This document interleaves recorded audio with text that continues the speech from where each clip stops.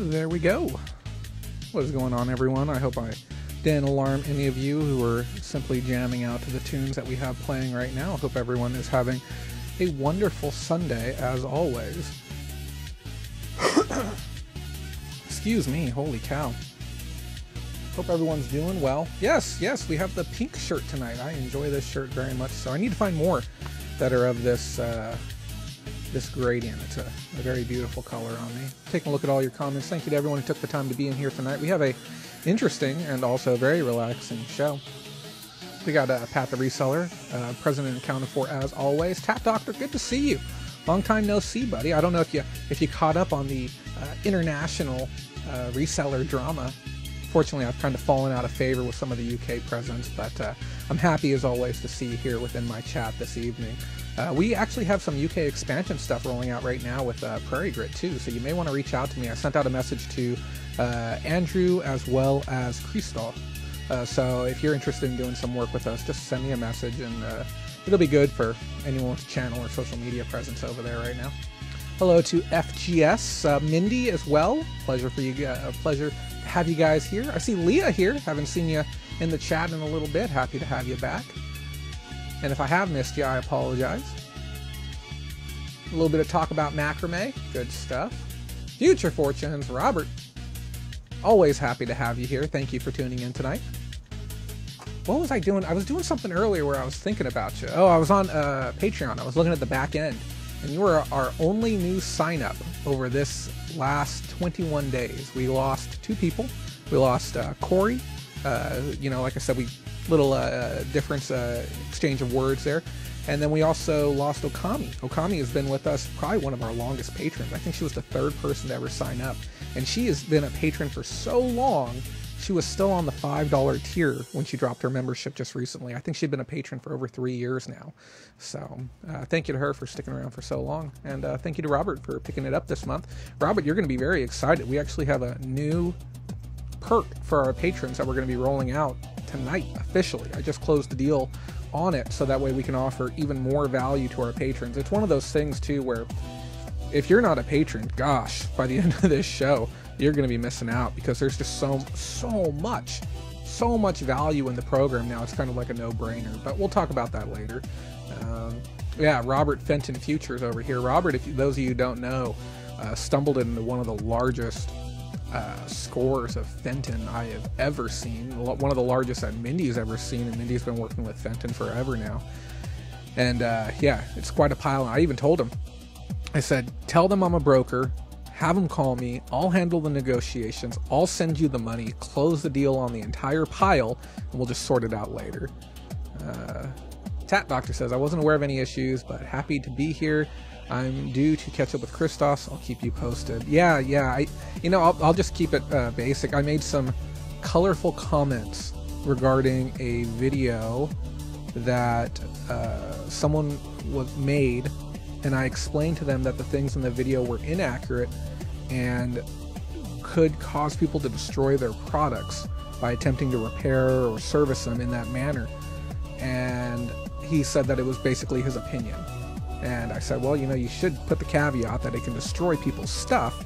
You know, he's like, well, I didn't want to go into that much detail. I'm like, well, it, sh- it should be explained. But I, I, was really colorful about how I went about it. I was, I was an immature uh, guy about it. But it's just something, you know, you'll learn it in time. You'll learn how to uh, just kind of work through it. Um, but we just had a little bit of a difference of opinion in, in process, which I can respect. You know, each their own. Uh, Sophia, I'm not sure who you are. I see you got a basic avatar, but here I'll give you the I'll give you the wave right back. Thank you for tuning in this evening. Happy to have you. Tonight's going to be a very interesting night, especially for those of you who aren't going to be attending eBay Open. Uh, there's there, you're going to have the opportunity to vote tonight on where you would like me to go.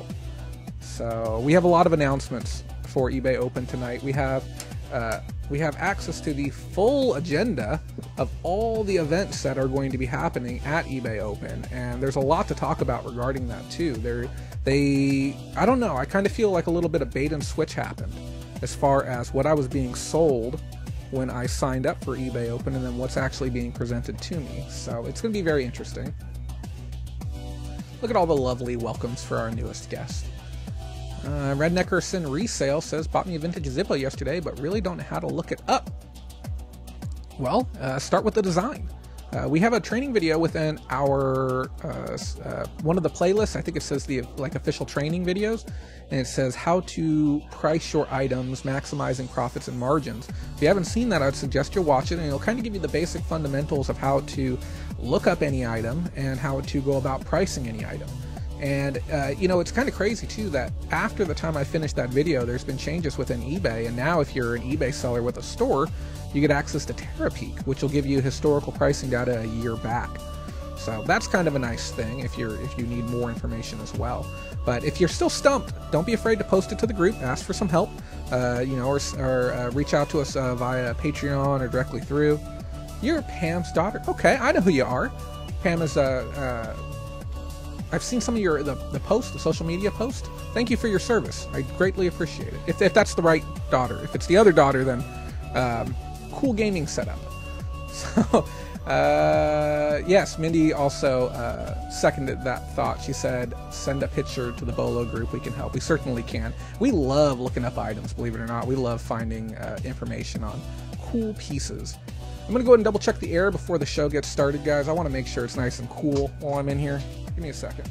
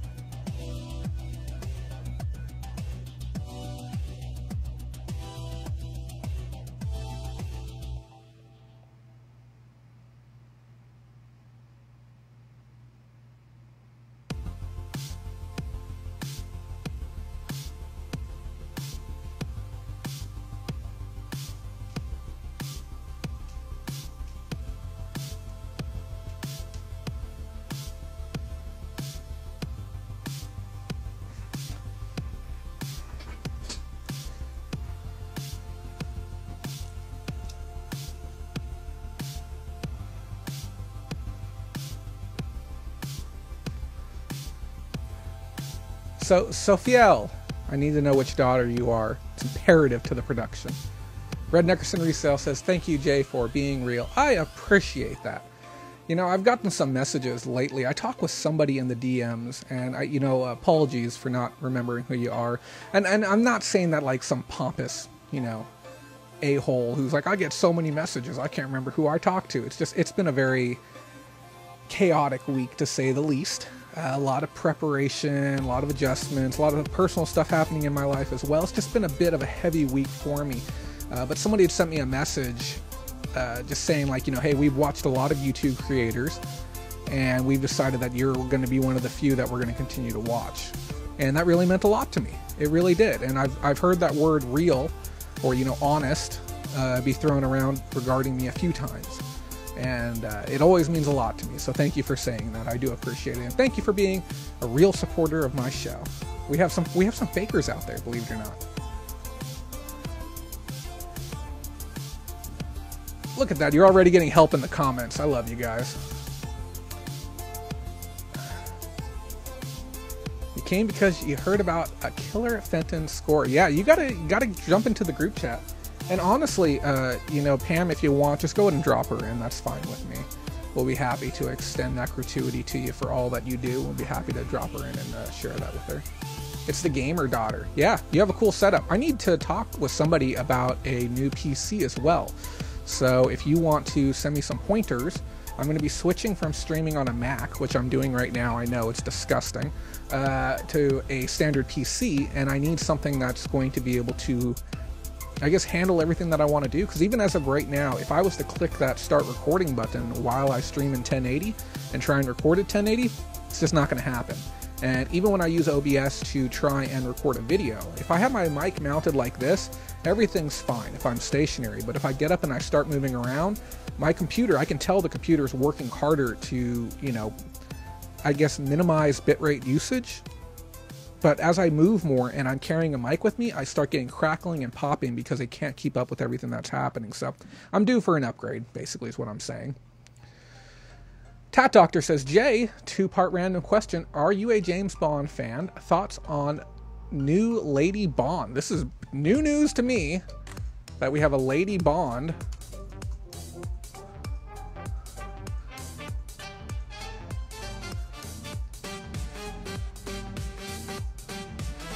I've got to, I've got to get some more. Uh, oh, I love this song so much.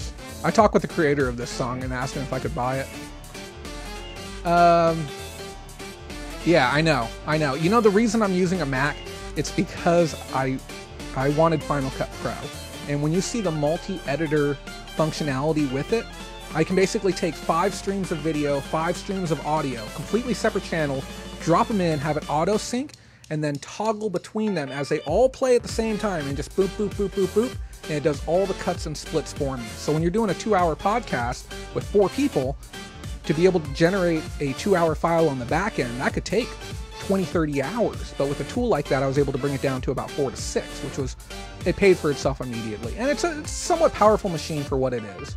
But, uh, and sorry, Tat Doctor, back around to you again. Uh, I, I do like James Bond. I'm more of a Mission Impossible fan myself, but I will look into this Lady Bond. Don't be afraid to send me information on that. I'm curious now. Hopefully, it's not like that whole Ocean's 8 thing that happened with the all female cast or even the Ghostbusters thing. Because here's the thing, okay? I got no problem with women playing lead roles in movies, but I don't understand. Like, here's the thing, okay? You're talking about women, they want to be independent, they want to have them shine and stand apart from their male counterparts within cinema. Why are we taking the name and the brand identity that was uh, historically known for being a male dominated field and then feeling like we have to turn that into a, a female one? Why not give them their own original? You know, we could have our own female heist series movies, our own James Bond esque type movies with their own female, you know, female characters. There's no reason to ride on the coattails. You know, they, they can they can definitely stand up and represent their own brand themselves. Mindy's saying, "Let's rock this show." I guess we don't really have a choice in the matter, uh, seeing as how Mindy said so. Let's go ahead and uh, let's do this.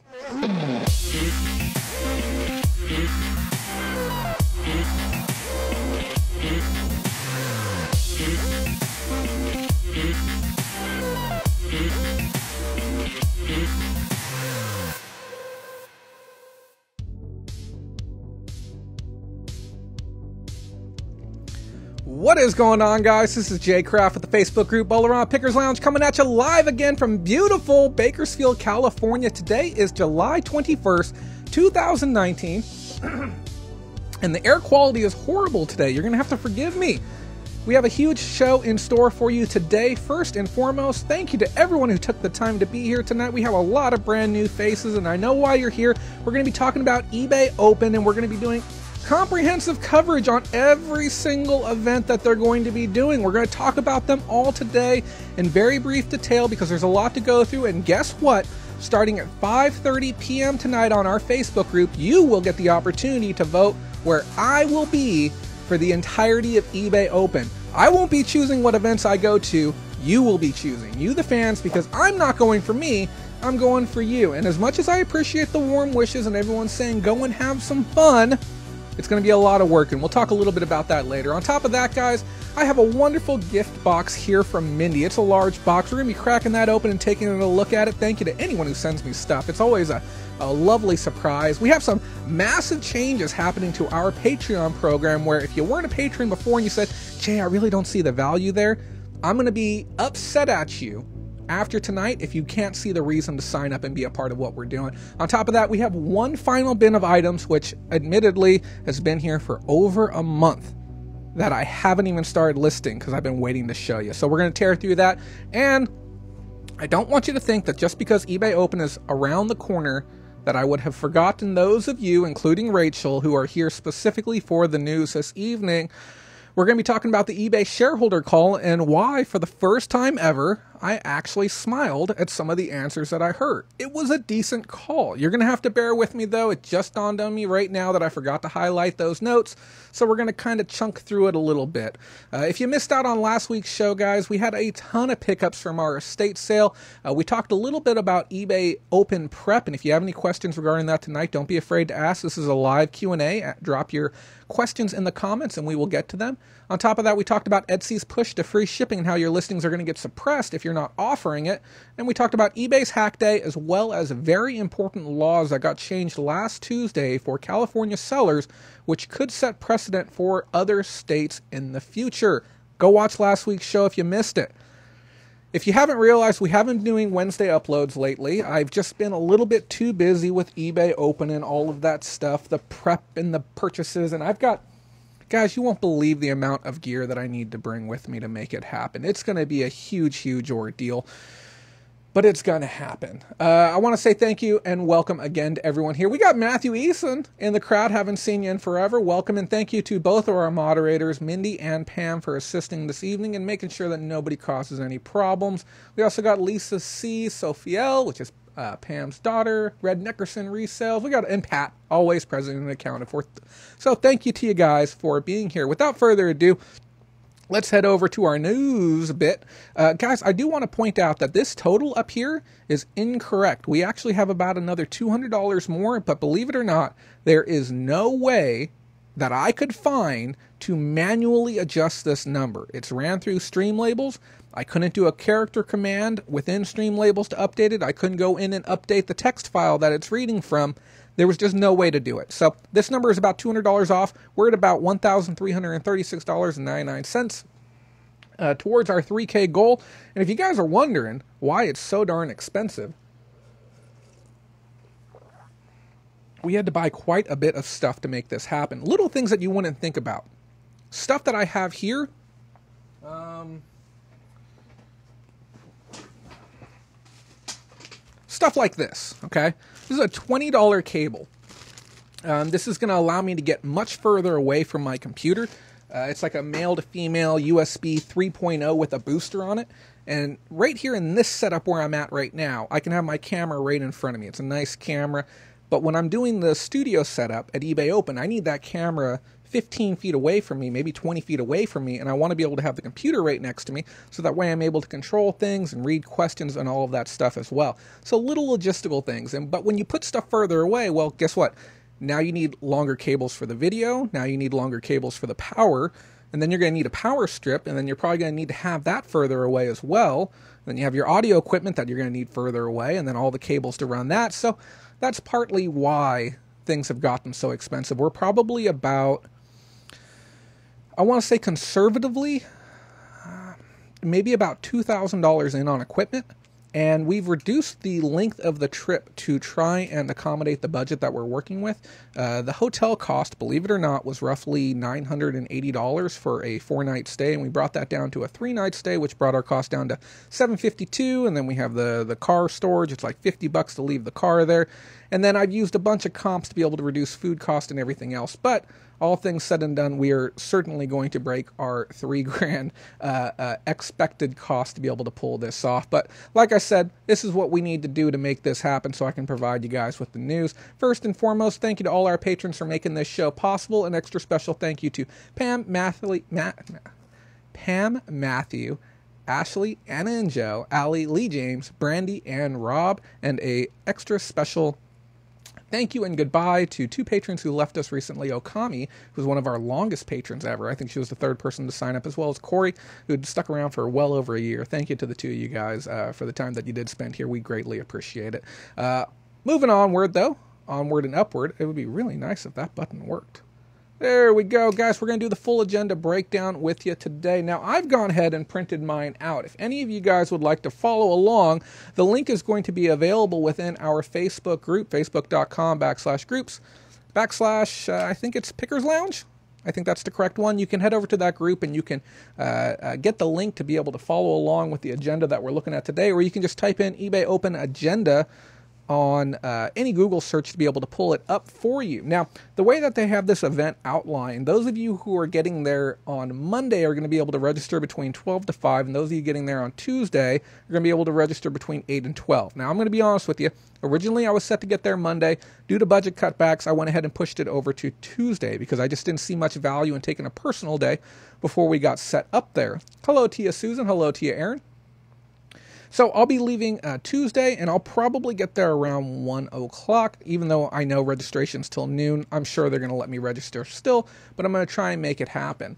Uh, now, the Tuesday, even if you aren't going, this is important stuff to know, uh, you know, because the thing is, I'm going to be doing a lot of live coverage from there. So you can expect a couple of streams even on Tuesday, even though there's not a whole lot happening. They're going to have a couple of meet and greet events. And if you'd like me to stream from the actual event, I can do that. I can bring a camera with me, but we might not have as many of the finished, uh, polished elements that, like you see here but it's certainly something that can happen. And they're going to have a pop up that's uh, regarding accelerating your growth. And then they're going to have a little thing, it's called Seller Pictionary, which is a networking event to try and meet up with other people. So if you are there on Tuesday, it's going to be a very relaxed day. If you're one of those people who said, you know what, I'm not sure if I'm going to be going Tuesday or Wednesday, and you still have that flexibility, if you want to save a bit of money, go ahead and show up on Wednesday. That's my personal take on it. If you have a vested interest in getting there early because you have some setup, whether you're doing some media coverage, filming coverage, networking purposes, Tuesday will be fine. And if you're like some, there's some people who are there already, which I find will be a little bit shocking. They're just taking an extended vacation, is what they're doing. Now, coming into the Wednesday, you'll see the way that they've done these events, and I know this is so chintzy looking the way that I'm doing this, but the way they've done this event is they have it set up to where multiple things are happening at one time. Like, especially, you can see situations here where we have seven or eight different panels all happening at one time. Okay. And it's really frustrating to be completely honest with you. I wish that there was a more uh, direct flow with how things were going to be happening. So, when you go to the Facebook group today, starting at 5:30 Pacific Standard Time and going up till 5:40 Every minute a new poll is going to be added, and those polls are going to stay there until pretty much Tuesday. And you'll get the opportunity to vote on each and every time slot for what event you'd like me to go to. You'll see that some events are going to be repeated, so if you go through the poll and you see multiple events that have the same, or the multiple time slots that have the same exact event, don't click on the same one in multiple ones, click on different ones that you have an interest in seeing. Now, there is an event that is occurring that's a single time run. And with that event, I might just go ahead and veto and go ahead and run and do that one. But I really want to give everyone who's been watching, who has been supporting, the power to decide where I go. And if there's an outcry from patrons and where you guys would like specifically for me to go to something and uh, it doesn't win the vote, let me know. We'll make it happen. Uh, you know, we can scoot some stuff around, or maybe I can ask somebody to go to an event, bring a camera with them, and then give me a playback later. Now, as far as what we are going to be able to do at eBay Open, I did everything in my power to try and establish the correct contacts to be able to get full media coverage there. It comes to me with a, a great uh, level of uh, frustration that we weren't able to connect the dots. Now, partly that that that's going to be symptomatic of some of the negative things that I've said about eBay in the past. to be quite frank, I even spoke with the retail revival program, and you guys, some of you saw the trailer for my eBay Revealed Part 2, where I was really taking hard jabs at them, and we got them on the phone. Excuse me. We got them on the phone and we spoke with them about what was going on and said, you know, hey, there's certain things that are happening with the retail revival program that don't necessarily seem congruent with what you're saying to the public or what you're saying to the mayor or yada, yada, yada. And we would really like an opportunity to be able to speak with you and kind of get your side as far as what's going on before we publish this piece. And they went and did a little bit of research on me. And of course, they found the video and the angle at which it was being p- pitched. And I said, I would really like to give eBay the chance to, you know, uh, explain more of what was going on. They said, you know, hey, we'll definitely follow up with you. You know, we just need to speak with our team, see what's going on they messaged back and they said, you know, hey, you know, this isn't about eBay, you know, retail revival. That's what this this not what this event is about. Uh, so we're we're at this time we're going to have to decline. I said, okay. And at first they were very curious as far as when my piece was going to be coming out. When's it coming out? When's it coming out? When's it coming out?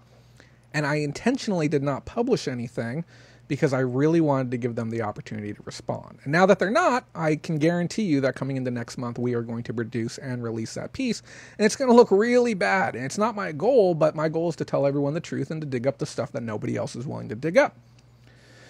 That being said, I also reached out to the SBAN team, the Small Business Ambassadors Network, and I do have a uh, non formal arrangement to be able to get them on camera to speak with them regarding the current state of tax laws here in America and expectations of what is going to be coming in the future. We're either going to be interviewing them on the show floor or we're going to be having them come up to our studio in the Skybox Suite. If you're going to be at the event, and you'd like to sit down and just talk with me about eBay or talk with me about being a reseller on air, reach out to me. Okay. We have a couple of evenings where we're just going to be sitting there and having a little after hours discussion, having a good old talk about eBay and reselling and all that. And if you want to come relax, we'd be happy to sit down and speak with you too. And if you're an influencer, more the merrier. That'd be great. You can set up your own camera, you can do a dual stream. That's fine with us too. But we have this very special SBAN uh, meeting. And then I'll also be doing a SBAN after hours, uh, after party type of thing. It's like a uh, invite only special mixer that I'll be at as well. And I don't think anyone has ever filmed at one of those before, so I'll be very excited to get some uh, interesting footage and I guess get a very fresh perspective that hasn't been shown online before. So that should be a lot of fun. Uh, and I don't think we have anything else super super planned so far for the event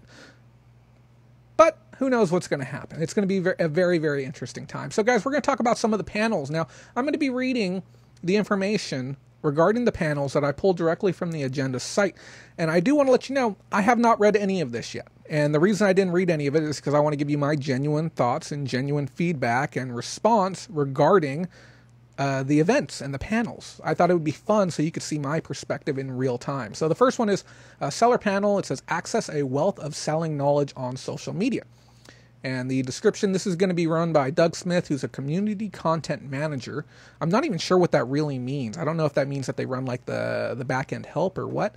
And it says this one uh, sellers are the experts in selling always, but how do you tap into this valuable resource? On community and social media, hear from a dynamic panel of sellers who spend their days sharing invaluable tips and advice for successful selling on eBay. That really tells me nothing.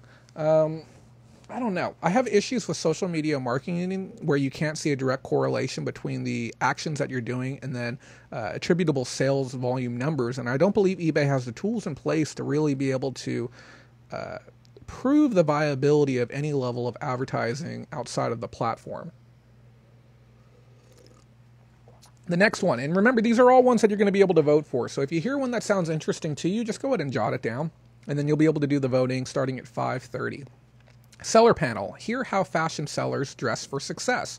Dress for Success takes on a new meaning when sellers in clothing, shoes, and accessories and jewelry, watches take the stage. Part panel discussion, part Q&A. Come hear industry trends and expert advice from those in the know. Being ran by Renee Paradise, senior direct, director of fashion on eBay. It's an interesting title. Uh, yeah, so some of these events are set up as Q&As. And other events that are being set up are uh, simply speaking presentations. And I believe all the ones that we're going to be talking about right now, these seller panels, are going to be ones that include Q&A. Next one up is seller panel, collect tips for success from fellow collectible sellers. With 50 plus categories of collectibles, successful sellers are always looking for fresh insight into what motivates hobbyists and collectors of all stripes to add to their collection. Take advantage of experience from your colleagues in this interactive panel session. I expect there to be uh, visual aids or something along that, uh, along those lines included with that. It's going to be run by Gordon Chang and Steve Halupka, who are category managers and senior managers respectively. The next one up says seller panel get amped up to get tips and tricks from sellers in hard goods. What's hot and what's not in electronics, business and industrial and parts and accessories. This panel of your peers share their success strategies and take your questions so you can increase your sales in these vital categories. Gear up! And this is from Jordan Hentinga, Senior Director, eBay Motor Parts and Accessories. That's a weird, weird uh, thing. Um, do we have a motor parts and accessories specialist running this panel? Regarding electronics, business, industrial, and parts and accessories. Uh, you know, this is somewhat concerning to me uh, that the people who are having these panels and discussions regarding what people should be selling are the ones who are working for eBay, not necessarily the ones who are out actually sourcing and closing deals with brands. Because it, it doesn't take much effort to go onto eBay and figure out what's actually worth money. I mean, price plus shipping highest first, and you can sort by category. But I really don't understand the value of having an eBay representative tell me that information. You know who I'd want telling me that information? Category leaders in sales. I'd want somebody who's been doing, uh, you know, the, the, the specific category of electronics, business, industrial parts, and accessories for the last 15, 20 years, who has contacts, who has experience, who has this, that, and the other, telling me what I should be looking for within those categories. Uh, next one up, uh, being run by Dominique Holland, senior mark, excuse me, senior manager and marketplace diversity. Seller panel: Women-owned eBay businesses. Did you know that women own nearly 40% of all privately held U.S. businesses? We've invited several women with thriving businesses on eBay to share their amazing stories. Now, here's a question for you. Okay, why is that statistic phrased in that way? Did anyone else catch that? Did you know women own nearly 40% of all privately held US businesses? Why aren't they giving the eBay statistic? Okay, because as far as I knew, there was a large number of female eBay sellers, but something leads me to believe that they're intentionally not giving that information because the number is probably going to be lower than that. And they also said nearly, so it's probably like 36 or 37%. Uh, Red Neckerson Resell $2.22 super chat. Thank you so much for that. Says for down payment on the $18 omelet at Mandalay. That is so nice of you to think that I'm going to be able to afford an $18 omelet at Mandalay Bay. That is simply not happening. I uh, I have this app on my phone that allows me to get comps, and uh, it's a slot app. It's a great one. I played it for years, and I half of my meals are going to come from eBay, and the other half of my meals are going to be coming from my comps. And then I told Miguel that I would go to I think it's called Miracek. Uh, it's a it's some type of special restaurant. Uh, also, those of you who are watching who want to do this this meet and greet and you guys want to meet with me, if I, I, two things, okay. One, if you see me on the convention floor, I will not recognize you. I apologize, okay? I'll know what your name is if you tell me. If you show me our chat log, I'll remember everything that we've ever said to each other. Until I see your profile picture, because none of you look like your profile picture. You know what I'm talking about. You got pictures of your kittens, pictures of your kids. You guys got all these, you got pictures from the 80s, okay? When I meet you, show me your profile picture, then I'll know exactly who I'm talking to. But if you come up and you say, Jay, it's so nice to meet you, and you try and give me a hug, I'm, I'm 99% chance I'm not going to know who you are. Okay. So that being said, uh, just bear with me. And number two, if you'd like to join me for this dinner and you'd like to be a part of it, send me a message beforehand. It'll probably happen Tuesday night, maybe Maybe maybe Wednesday night. It might be a late dinner. I don't know. The schedule is really tight. So, and yes, uh, Leah, you're you're specifically who I'm speaking to. No, I don't know. But that's what I'm saying, guys. If I don't know who you are, like on a like if we haven't talked on the phone, especially, it's going to be a little bit tricky. But thank you again for that, Red Neckerson resell. I will put that. I'll probably get about a dollar seventy of that after YouTube takes their tiny cut, and I will put that towards a, a, mediocre snack from the vending machine. Uh, what's what's in an eighteen dollar omelet? I want to know what a five dollar milkshake tastes like. That's what I want to know. What's up, Landshark? How you doing this evening? We're talking everything eBay open right now. so yeah, like I was saying, if you guys want me to go to women-owned eBay businesses, just let me know and I'll show up to that event. I got no qualms about that. Uh, but it's going to be interesting. It'll be an interesting one. Uh, the next one, how to grow your business on social media, which is slightly different than the last one we were talking about. It said, did you know that you can connect with buyers on social media and take them straight to your eBay listings? Learn best practices from top sellers, Facebook and Instagram experts on how social media marketing can take your business to the next level. This is going to be ran by Audrey Tracy, who's a content strategist. Now, here's the thing I would just love to talk with her. I would just love to pick her ear as a content strategist and, and have her tell me what she feels is the driving force for people to be able to generate real attributable sales and, and if there is tools in place that we can use to really uh, not only scale but to be able to track that would be an event that I would probably be interested in going to. But like I said, you guys are going to be voting. Uh, polls open here in seven minutes on which events you would like us to go to. Uh, and, and excuse me, I said earlier that I believed all of those ones had Q and A. Only select ones had Q and A's. These next ones, these are eBay speakers, and these are going to have Q and A's with them. It says operating and managed payments. Join us if you are already signed up to learn the latest and influence what's coming. I highly doubt that anyone going to this event is going to have any influence on the future of managed payment, but it certainly is a nice notion to be able to give people. So join us as we go deeper on the experience today, including new ways for buyers to pay with PayPal and Google Pay, and features like seller initiated refunds, unique order IDs, APIs, and more. Learn what's coming soon and share your thoughts on what you'd like to see next. Here's the issue with all of this, okay? This is already done. This is this is already good to go. We have PayPal, we have Google Pay. If you're, you know, it's already established. Uh, seller initiated refunds were talked about on a seller update two, two, seller updates ago. Was that the spring one? It was a while back. And then uh, unique order IDs, that's already done. We learned about that in the last seller update. APIs, which applies to essentially nobody, unless you're a developer, unless you're somebody working on the uh, the the back end, the tech end of things. APIs mean nothing to most people and then uh, share your thoughts on what you'd like to see next. That's really the only value that I see there. Landshark Picker says, I'm curious to see what they say about managed payments. I've heard nothing positive about it. Yeah, the, the reason why you haven't heard anything positive about it is because there's really nothing positive to say. Uh, unfortunately, those who are on managed payments have seen a severe dip in sales. There's very few select people who uh, have seen an uptick. And I'm not going to lie, I think that the only way that the people who are on managed payments currently have any level of success is because they have to be getting priority ranking within the site. But now that we have these new California laws in place that we talked about last week, it's going to force brands like eBay to offer more transparency regarding how their search algorithm Cassini actually works. And once we have that type of information, we can make more informed decisions about what, what we're going to be doing next.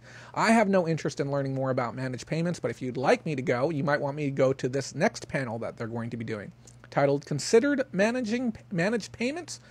Question mark. Join us if you've been invited and want to learn about the current experience. Have you received an invite to manage payments? Then we are ready for your business. Join us to learn more about managed payments and what it means to you, new ways for buyers to pay, consolidated reporting and fees, and getting everything you need to sell and get paid all on eBay. Learn about how managed payments works and why it's right for you. So if you'd like me to attend that one, go ahead and drop your vote in for that one as well. I'm being asked, does Pat look like Trump? No, Pat looks like, well, Pat looks like Pat. Here, I'm going to, uh, I'm going to visit Pat's channel really quick. And I know this is exceptionally unprofessional for those of you who are watching this live right now. Oh, I totally see it. Yeah. I'm blown away. Pat has uh, 49 subscribers. Oh wow, he actually, oh he has a lot of liked videos, but I don't think he has any, any uploads. Back to the main event. Next one up. This is a, I, I think it may be an important panel being run by Gary Fulmer, senior director of trust, and Chris Bremser, senior manager of seller protections. Uh, this one's titled Seller Protections. eBay has your back with a range of protections for issues that range from protecting against abusive bullying activity to and shipment delays. Come hear details about how we've improved our seller protection programs and learn the steps to take to protect your business. Now, here's the thing I'm all fine and dandy and uh, all on board about being able to protect sellers just a little bit more. But the problem is, is there's a massive disconnect between what eBay says and what the representatives on the phone actually hear. I've called reps on the phone and I've quoted verbatim stuff from the terms of service, the or the recent seller updates. They have no clue about it.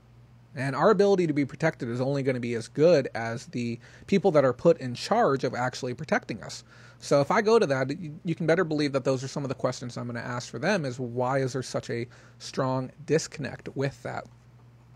Next one is boost your business with Terapeak Insight. Successful eBay sellers rely on Terapeak Research competitive listing insight to help boost their business. Terapeak is available for free for most store subscription tiers, basic and beyond.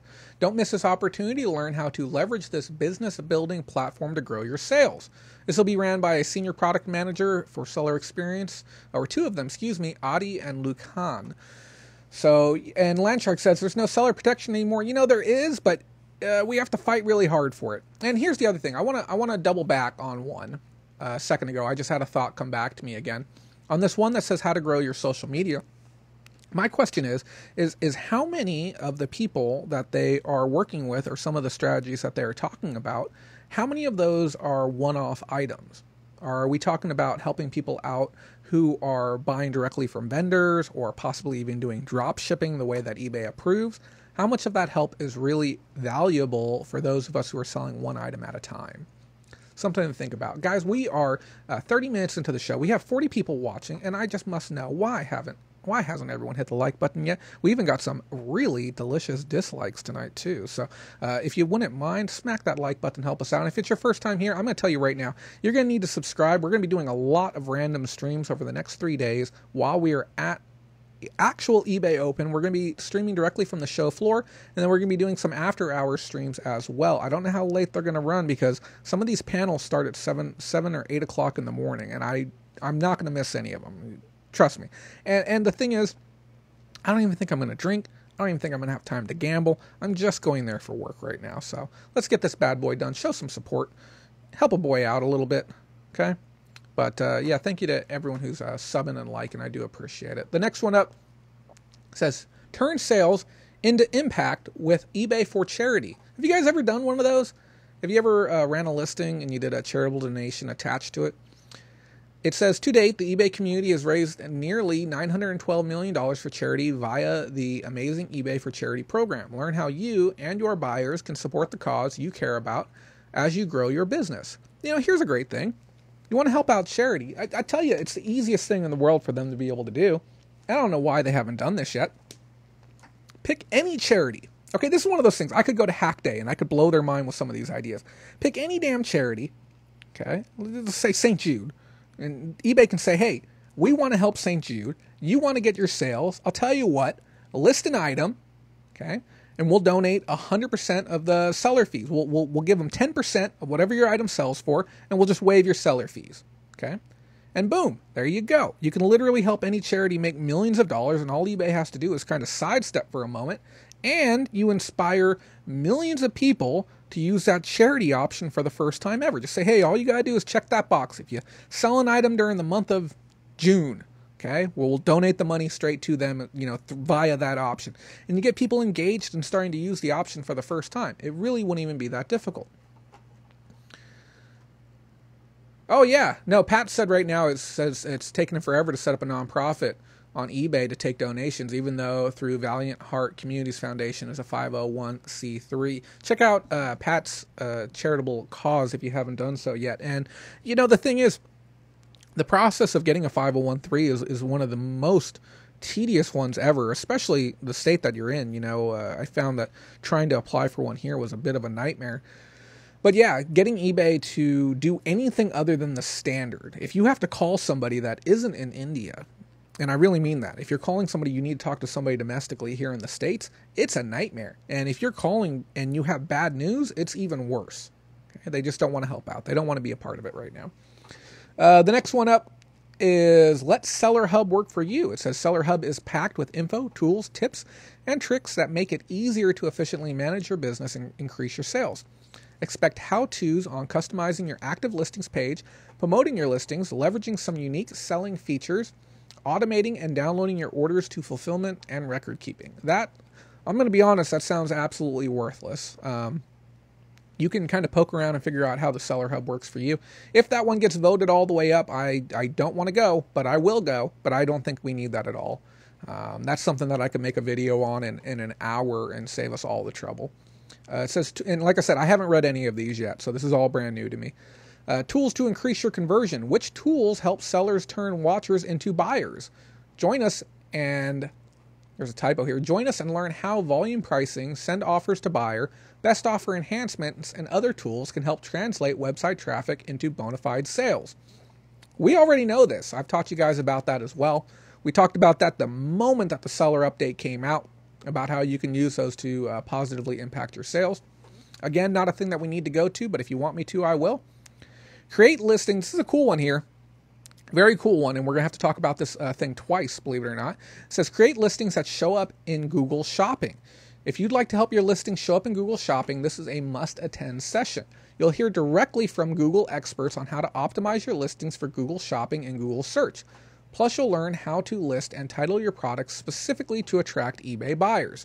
This is going to be ran by Mike Kinney, Michael Wong, Corey Wersner, who are shopping technical specialists, senior account executives uh, with Google, as well as paid search marketing senior manager Greg Williams. This is a rock star panel of people to get an opportunity to go meet and listen to. This is probably one of the most valuable events that's going to be happening at eBay Open. This is a must attend event if you're going to be at eBay just for the opportunity to talk with them.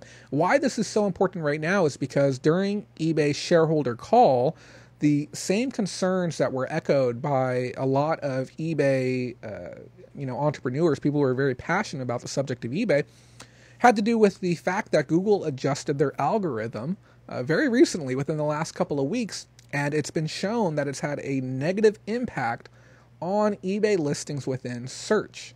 So, by being able to talk with them and say, hey, this is what we changed, this is why your listings aren't showing up, this is what you're going to need to do if you want your listings to show up, it's very important. Last time I checked, somewhere in the area of 40% of my sales came through Google. So if I lose one of my most valuable branches of diversification, which is Google search, I need to know what I need to do to get it back. So this is a must attend event if you are going to be going. Uh, it's very important. Uh, Leah says, I already picked the listing search event will be there. Leah, let me know which time slot you're doing because a lot of these things are uh, movable and I'll be happy to go with you. We can sit down, we can view the event together. I think that'd be a great time. And like I said, this one is a excuse me. This is a uh, Q&A one. So if you have any questions too on some of these Q&A ones, let me know and uh, we'll we'll definitely ask the questions while we're there. The next one up is optimizing your listings for discoverability and sales. It says this workshop empowers you to make use of and understand the tools and resources provi- to provide complete and accurate item specifics so your products rise to the top of the shopping experience. This is, has to do with structured data. Okay. Uh, if you're one of those people that runs your listings right now and you do not take the time to include item specifics, we're talking brand name, we're talking MPN when valid, uh, we're talking a year of manufacture, stuff to that effect. If you're not inputting that data into your listing, you are hurting your sales. Now, is, is it always important to do so? No. But I'll tell you, if I have 100 widgets, and I have all the details for my 100 widgets, and I know that my listing will get priority placement because I spend an extra 30 seconds to a minute to input that data, I'm going to do it. Okay, so make it a point to uh, to get that data in there if you can. I don't know how much information we can derive from it, but if you want me to go, I will. Next one shipping tips and tools deliver what buyers want. Buyers expect more delivery options. Learn to leverage our tools and resources to make fast shipping more effective and cost and everything easier on you. Make the connection between fast, free, reliable delivery options to buyers who keep coming back. This is from Shipping Strategy and Shipping and Labels senior managers. Uh, it's going to be run by Dallas Roswell and Nate Hayward. I've never heard of either one of them, which is a little odd because as much as I know about the shipping industry, it might be an interesting one. Uh, you know, I'd love to ask them why they were undercutting USPS by 3% for the last six months. That would be an interesting question. But I haven't, I, I, will tell you right now, having fast and free shipping is important. I know this from experience this week alone. There were certain things that I purchased this week that offered faster shipping that I wouldn't have otherwise purchased. Simple as that. Uh, stack up your sales with promoted listings. Market to who it matters when it matters with promoted listings, the efficient and effective way to increase your exposure and help boost your sales. We'll demonstrate the easy step by step features plus several advanced features in Seller Hub. You'll also get a sneak peek at new features to come. Hmm. So if you have any questions regarding promoted listing, most of the information that you need you're going to need is out there. I would be curious to see what's going to be coming in the future with that. The next uh, event up is Is exporting right for your business? This is another one that I've kind of had my eye on. It says, Curious about going international, or do you already export but want ideas to optimize? Want to hear more about getting multinational exposure? You'll hear about the pros and cons of exporting, how to get started, and garnering international exposure through our web interpret and global shipping programs. So, uh, I, you know, I'm not sure if I understand exactly what the web interpret is. I don't know if that's that program ran by a third party company where they get you set up with seven different countries to be able to sell out of. If it's that program, it's absurdly expensive and has no proven track record for success. Now, Global Shipping Program, on the other hand, is pretty darn decent, especially if you live close to the export station, which I don't. The closer you live to it, the better off you are. This might be an interesting one to attend. Next one up is the Inside Scoop Q&A with eBay execs and category leadership. Come to this important Q&A session where you can pose questions directly to executives and vertical leaders. Gain insight on industry trends and how eBay is focused on supporting our sellers. It's going to be ran by hard goods and soft goods uh, VPs as well as the senior director in fashion. That was so boring that have you ever read something and not listened to the words that you were saying? That is exactly what happened right now.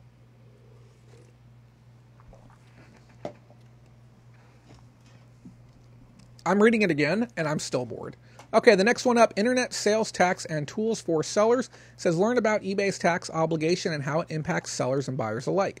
Come find out what types of tools and resources are available to you as a seller to help make the whole thing less dot dot dot taxing. See what we did there? I see it. I see it. So, uh, you know, we've talked heavily regarding tax obligations here on the show before. And I think it goes without saying, there's a couple of different camps here that watch my show. There's the camp that says, yes, I'm going to get on my phone with my CPA first thing in the morning. We're going to figure out what we need to do to stay compliant. Okay.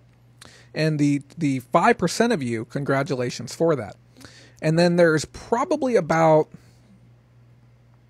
90% of us, okay, you notice I said us, who are saying, well, they can't get us all, and we're going to see what happens. So, um, you know, and, and, that's just based off what I've seen so far. Uh, just just be mindful. Some of these things we're, we're going to have to start paying a little bit more attention to here in the future as regulations start coming down harder. Uh, we might see what happened over in the EU, where they are putting the onus on the brands, you know, like Amazon, to ensure that their sellers are actually paying their taxes and if they aren't, they're going to start penalizing the brands or holding the brands accountable for the for those taxes. So it's going to be very interesting. So if you want me to do that, we can. But like I said, we're sitting down with the SBAN team, the Small Business Ambassador Network, and we're going to be talking with them about tax law already. We're going to be able to ask questions that simply we can't ask at that event. Uh, we'll be able to ask them privately, and that's going to air separately unless we get one of them roped in for an after hour session. We'll be editing the video. Uh, those of you who are curious, we're, we're going to record probably somewhere in the area of about 30 to 40 hours worth of footage across the few days. It's going to take well over a month or two to get everything processed out, but we will be releasing the videos in time on our channel. So if you haven't done so, make sure you subscribe. Uh, up next, we have uh, one more event. This is a no question. It's called a managed payments, a fireside chat Join us to learn more if you have been invited or signed up yet. So th- this is being ran by somebody else apparently. It's again, it's on managed payment. It says interested in managed payments but haven't received an invite yet. eBay is, is on a multi-year journey to roll out managed payments, and by 2021, the majority of sellers will be on managed payments. Come by to hear about the progress so far, what's new, and what's to come. This is a stupid event. And no disrespect to eBay or the person running this event. Uh, the reason why everyone isn't on managed payments yet is it has to do with the agreement that PayPal has with eBay. They simply can't sign up more people. Uh, they have limitations. We have exactly 6,000 people on managed payments right now, which uh, account for less than half of a percent of all sellers. So managed payments, maybe even a quarter of a percent, it means absolutely nothing in the grand scheme of things. No one's really on it, okay?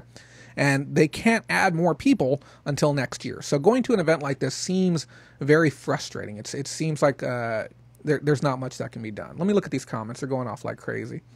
Mindy went on PayPal so that Jay can get the omelet, but the total is not changing. Did somebody mail me in a donation? Yeah, I cannot manually adjust that ticker. Ursula, thank you so much for the $18. That is super nice of you. I do appreciate that. Thank you. And if you aren't plugged into our community yet, please get plugged in.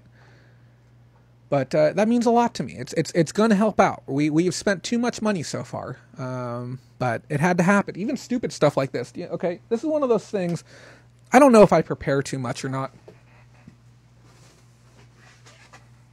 Okay, so as much as I'd like to be able to wire people up to microphones while I'm out there on the floor, I'm just not going to be able to do that. So we got this microphone, and I specifically got this mic so that way people could feel comfortable holding a microphone while they're talking to me. And this is going to be plugged into a XLR cable on the bottom. It weighs a, a third of what this one weighs because I don't want to hand them something heavy. And people are very uncomfortable on camera. So I gave them, I'm getting them a microphone that they'll be able to wave around they won't even have to talk directly at it. From even from here, it'll catch everything that they're saying Okay, so people who have never used microphones before will be able to use this, and we'll be able to talk to random people out there on the show floor. It'll be good. You know, it's an important thing to uh, to to actually get set up. I actually just now realized I need another short cable. My gosh, this is what I'm talking about, guys. Little things that I need to have. Let me add this to my master to-do list. Go to Guitar Center, get a short XLR cable. I have one short one, but I'm going to need a second one. Lovely. so that's what I'm talking about. Like little things like this, you're like, oh, well, you know, that's not a huge deal. Well, it's a $160 microphone. And, I, you know, I know it seems a bit excessive, but you know, if the channel's going to stick around forever, there's no sense in buying garbage now and then buying expensive stuff later. So I will let you know exactly what an $18 omelet tastes like. And I, I, I can assure you it'll be delicious. Thank you again for that. Uh, and if you'd like to donate, we have our uh, our information scrolling down at the bottom periodically. You can also hit that super chat button as well to help us out. And thank you to everyone who has as well. Um, but yeah, the fireside. I, you know, I don't know why they're using the phrase fireside unless they actually have a fire there it's something that I'd seen PragerU. They have their fireside discussions, and they literally have a fire fireplace there. So if that's what they do, it'll be interesting. Hopefully, it'll smell like Christmas in there. Uh, and then up next, there's two panels that are being done. Uh, they're being done by sponsors, which I found to be interesting. First one is Chubb Business Betterment, which is a horrible brand name. How to Fall in Love with Your Insurance, which is a horrible name for a panel. We understand that insurance can be complicated and impersonal, but here's the thing it does not have to be. Join us as we unravel the stigma around insurance and answer your questions. You know, I would fire whoever wrote that little brief write up. I think they could have done so much better. Uh, next one up is uh, last one. This is the last event we're going to talk about. Pitney Bowes. You guys know who Pitney Bowes is. They make the labels for you on eBay. They're the ones behind the uh, the the shipping process. Chubb is an ins company. I have oh yeah, an insurance company. Yeah. So uh, Pitney Bowes demystifying global shipping to help you grow your business. Join us for an engaging panel discussion as we offer sellers of all sizes insight into eBay and Pitney Bowes global shipping program. You'll hear directly from sellers about their own experience with it and get tips on how to incorporate the global shipping program to your business. What tips do you need? Like I don't want to sound like un- again ungrateful or, or or snippy or anything, but multi-editor, select all, shipping options, add global shipping. That that's literally all you need to do. So, Landshark, you asked probably the best possible question that could have been asked right now. He said, Is there any mention of fulfilled by eBay? No. I've just listed off every single event to you. And this is why, frankly, I'm so upset about the whole thing. There's no mention of FFE, okay, fulfillment by eBay, which I was expecting. Okay. Where is the mention of the dedicated seller app? Okay. So when we signed up for eBay Open, we were provided with a list of things that uh, were things that were available to be spoken about, and we could choose the ones that were of most interest to us at the time of signing up. And there was so many different things that were mentioned on that that are just simply not mentioned in the agenda. And it really frustrates me because, uh, uh like I said, it feels like a bit of a bait and switch. You know what I want to know? I want to know about actual changes that are coming up on the platform. My idea, my views, and my beliefs coming into this event blindly, this is my first year going, is that we were going to get to learn about new and exciting things coming to eBay, right? I mean, 90% of what I read you right now is stuff that we can learn from home and uh, I find that frustrating. So I'm really hoping. And the the other thing too, when I listened to David Wenig talk on the shareholder call, he said that there was going to be new reveals, there was going to be new information, there was going to be a bunch of stuff happening at the event that hasn't been mentioned before. And he mentioned that during his.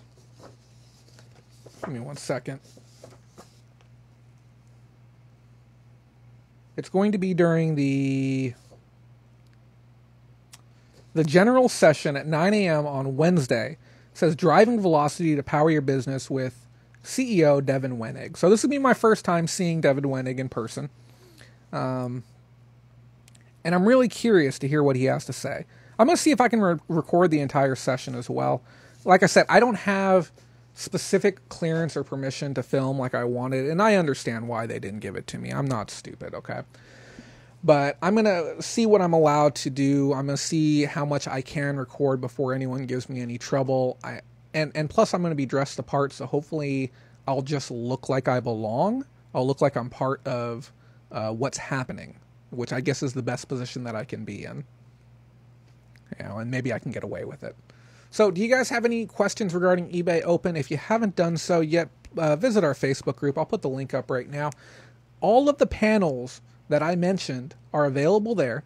You can also go and directly view and print out the agenda from the link that's provided, and you can vote on which events you would like me to go to and when I go to them. Okay, uh, you, you may want to be conscientious. Maybe some of the events you really want me to go to, you'll pick the later time slots because the earlier time slots are going to be full.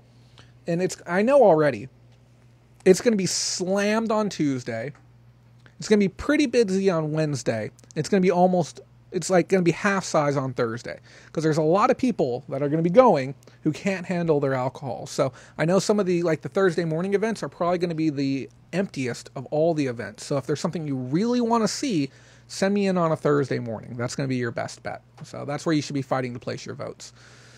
Donatello Bodolino says, Seems like it's more of a networking party conference. Last year, lots of people were disappointed as well. I didn't go last year and not again this year you know that that honest to god might be what it is and if that is what it is i'm going to make the absolute most of it and uh, I, have done a lot of things in preparation to make sure that uh, i'm going to be positioned to be able to network and market successfully because at the end of the day if this show can receive additional funding we can grow out of this space we can improve our tech we can do we can do a lot more to be able to help people if other people are paying for it rather than having you guys pay for it. Because in a perfect world, 100% of my money would just come from people who just want me to mention their products from time to time.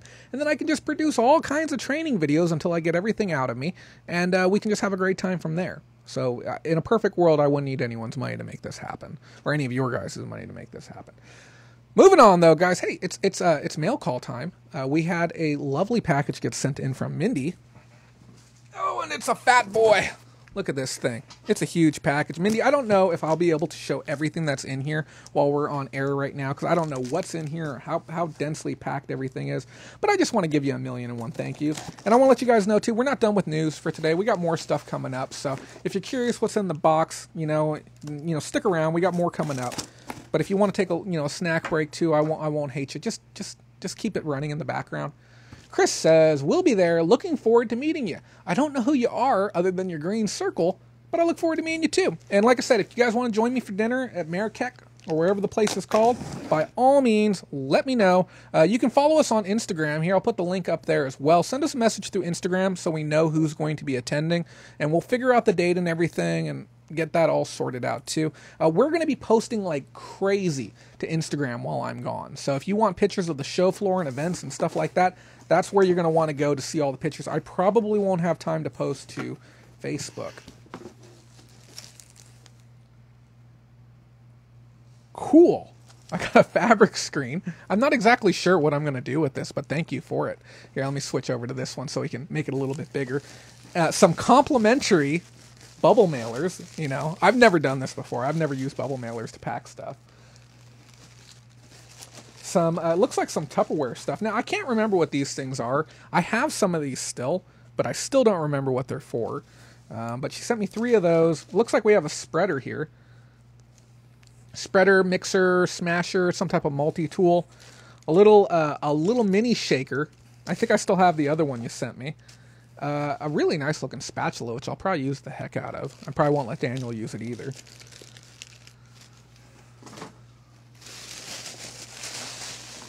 Oh my, did you send me a whole Tupperware set, Mindy? Ooh-wee.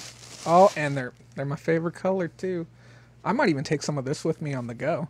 Cuz like I said, I can only I can only buy one $18 omelet right now. So, I feel like a knob cuz I'm not able to get this thing open. It's a lovely little box. Oh, look how cute that is. There's more little uh, little bits inside of there as well. Thank you so much, Mindy, for this. And there, there's a bunch of it too. We'll, we'll open a few more here.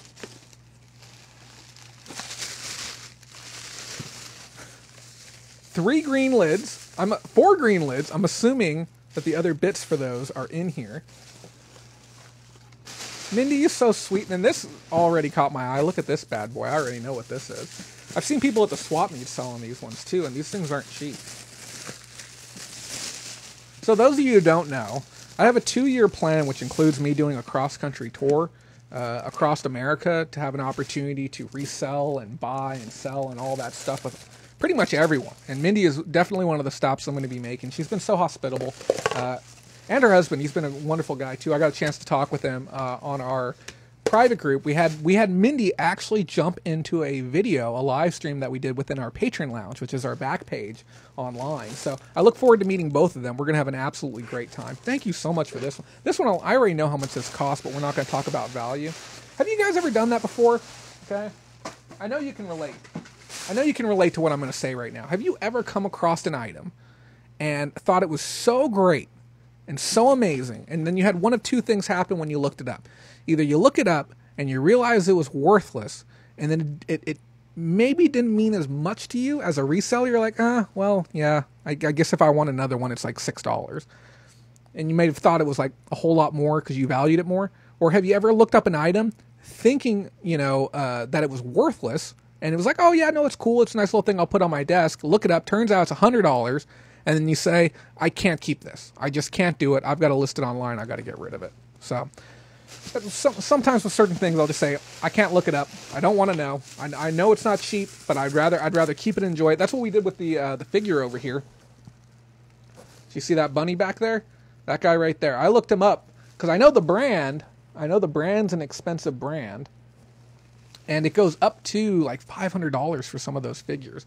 And I go and look him up he's like a 45 50 dollar figure. I'm like i'm like it's still really cool but i'm not as blown away with it as i was a moment ago. There's a little white box inside of something. Well maybe we will find it. She sent me one of these too. I'm assuming the white box is important. And this has uh, some extra utensils uh, the it has the fork and a little uh, side container. Mindy, what would what would somebody place inside? Would it be for like sauce? Is that what would somebody place inside the side container that comes with it? This is a really nice set. I might actually take this with me tomorrow. I like the color scheme on it. Hey, and real quick plug, guys. Okay, if you didn't know this, Mindy Coy is one of the best Tupperware sellers around. She's gotten a couple of cars from doing it, and she still has a lot of Tupperware. So if you're looking for the older stuff, maybe you have a set that needs to be completed, or you want like the old Servalier and you want a brand new set, reach out to her. She also has the new stuff too. Reach out to her too. She has some great, great stuff on hand. Oh, salad dressing? Oh, yeah, this is so cute. Look at this. That just plops in over there. But yeah, definitely reach out to her. She's got amazing stuff. Oh, that's savage. I love it. I'm gonna butcher that, so we're just gonna we're gonna demo it like this right now for you guys. I love how everyone's showing up once I start opening up Tupperware. So those of you who are just joining in right now, we did a full coverage. I found a little box. We did full coverage on uh, eBay Open. So if you want to rewind, you can go back and you can watch that. I really like this one too. Where we talked about every single panel and event and everything like that, and we're kind of uh, working our way into a next section. Mindy, this is heavy. Should I be nervous about opening this?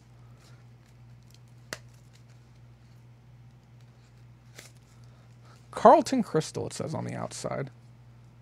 Oh, that's cute. It says, Congratulations. I can't get it out of the box, but thank you for that. I really like that. Let me see if it'll focus really quick it might not focus. We might need to pull it back a little bit. But it says congratulations across the front. Thank you so much for that. Very, very cool. We'll see if we can uh, squeak that out of the box and add it to the shelf of amazing things. But there's a handful more uh, Tupperware in here. We got a couple of shakers as well. These are bigger ones. I might. Oh yeah, I'll tell. Total. Yeah, if you're not sure who I am, just look for the guy holding the giant pink shaker while I'm at uh, eBay Open. Thank you for that as well. But yeah, there's a, a, handful of other pieces in here. Mindy, if there's anything else super priority you want me to open while I'm on air, let me know. She didn't even she didn't even ask me to open this on air, but I told her I would. Oh, this one's nice too. Oh yeah. And there's another one. Another one. And if those of you don't know, that's a that's a meme thing. Oh wow, I really like that. Thank you so much for this one, Mindy. Insulated tum- tumbler. Oh, you want to see the? Oh yeah, the one that I just opened. Fantastico. Thank you to, to you for that, Mindy. And I'll I'll get everything laid out and put a nice picture up uh, online of all of that stuff as soon as I get a moment to uh, to do that. It may be uh, after eBay open but we'll see. We'll see, we'll see how the day goes. Originally, I was set to leave tomorrow, uh, but like I said, things uh, you know I, I, pushed the trip back for some personal reasons, and then it also did uh, save some cost as well. So, a little bit of a win-win. What is going on with this? Let's what's going on with this, guys. We have some really, really exciting news. I spent the last uh, gosh month on and off working with Sean Herrick, the owner of Prairie Grit. Now, those of you who don't know this, this channel is Patreon funded, which means that people who watch the program basically help support the show, keep us on air, help cover expenses and time because it's very time intensive and very expensive to run this program. We have struck an exclusive deal with them to be able to offer our patrons a free subscription to Prairie Grit, which is a site where you can sell stuff online. So I know a lot of people are using eBay and Amazon. You know, we have had people use Mercari, Bonanza, and, and other sites, but Prairie Grit's another site that you can sell on there as well. And I know there's been some reservations from people who say, well, I don't really want to, you know, put any money up up front to be able to sell on a platform because we do it with eBay, but we look at it differently. You know, we pay our listing fees and then on the back end we pay our bill. Okay, that's how it's looked at. But on Prairie Grit, you run your listings and then at the end of the month they charge you for it but you see the number up front. You know exactly how much you're paying. So if on ebay they said hey it's going to be uh, you know $35 a month to list 100 items which it essentially is 35 cents an item you know it's going to be uh, you know $35 to run 100 items um, you know you, we're going to need that money from you. I don't know what it is but people are a little more hesitant. Now what's really great about prairie grit is they have insane search rank as well. But We'll talk about that in a second. We worked out a deal with them where, like I said, all patrons are going to be able to get a fantastic, huge discount. Let me make this a little bit bigger for you guys. I'm, I'm just going to cover up my face really quick so you can see what it is. So, what's happening right now is if you are an existing patron of mine or you decide you want to sign up for Patreon, okay, you're going to receive the perk that includes free listings along with it. So we moved our $15 tier up to $20 as of recently, but now you're going to be able to get a free account with Prairie Grit where you're going to get 50 free listings a month, which is a $30 value. Now, if you are a $15 patron, I would super duper appreciate it if you tried out the $20 tier, especially now that we have this huge value for you. Do you have to? No, everyone's grandfathered into it. Now, if you're a $50 patron, which, like I said, it includes a lot of stuff beyond what we're just talking about right now, you're going to get the 100 listing package, which is a $40 value. And if you're a $100 patron, you're going to get the unlimited uh, listings, which is, uh, or excuse me, the last one's a $40 value, this one's a $100 value. And this is all included just from being a patron with what we're doing right now. Landshark says, doing some work for Sean right now. That's fantastic. Yeah, you know, the more people to help Prairie Grit grow, the better. Because I think it's a great site. I think it's a great alternative for people who maybe don't want to just kind of stay within that specific bubble. So even on the $20 tier, which I already think is nuts, you get access to our group chat, which allows you to talk with me and all the other sellers. I think we have like 35 of them in there right now. You get access to our second page where we post up exclusive videos and training. You can get uh, uh, direct access to me if you have questions and stuff like that. You get your name show up in all of our credits. It's it's pretty awesome. Now I sell on Prairie Grit myself. Are my sales through the roof? No. Okay. I move a couple of items a month and it's stuff that's not really selling on eBay. And I get to use the eBay import tool, which lets me click a few things and then all my listings come across from eBay straight into Prairie Grit. So, like I said, if you're an existing patron, this is yours for free right now. And if you haven't signed up yet, now's a great time to sign up because you're going to be getting insane value along with it as well. And this will be free to you for the life of your patronage. Okay, so as long as you're a patron with us, you will get this perk included with your Patreon at no extra cost. Isn't that crazy? I think it's crazy. I think it's a huge deal. So if you haven't signed up yet, visit the link patreon.com backslash BoloRama. Get this great perk. Once you create your account, send me a message Give me your login email and show me a screenshot of your back end. If you want help making a banner, we'll even help you out with that as well. Cool. Thanks again to Prairie Grit for making this opportunity possible for sellers everywhere. What do we have up next on our next slide? Let's take a peek. I don't even know what's next right now. And I really wish this was working. There we go. The eBay uh, Q2 shareholder highlights. Let me resize this really quick, guys. Technology on the fly. So, those of you who don't know, eBay had their shareholder uh, meeting. Hold on, let me make sure I got everything on that last one done correctly.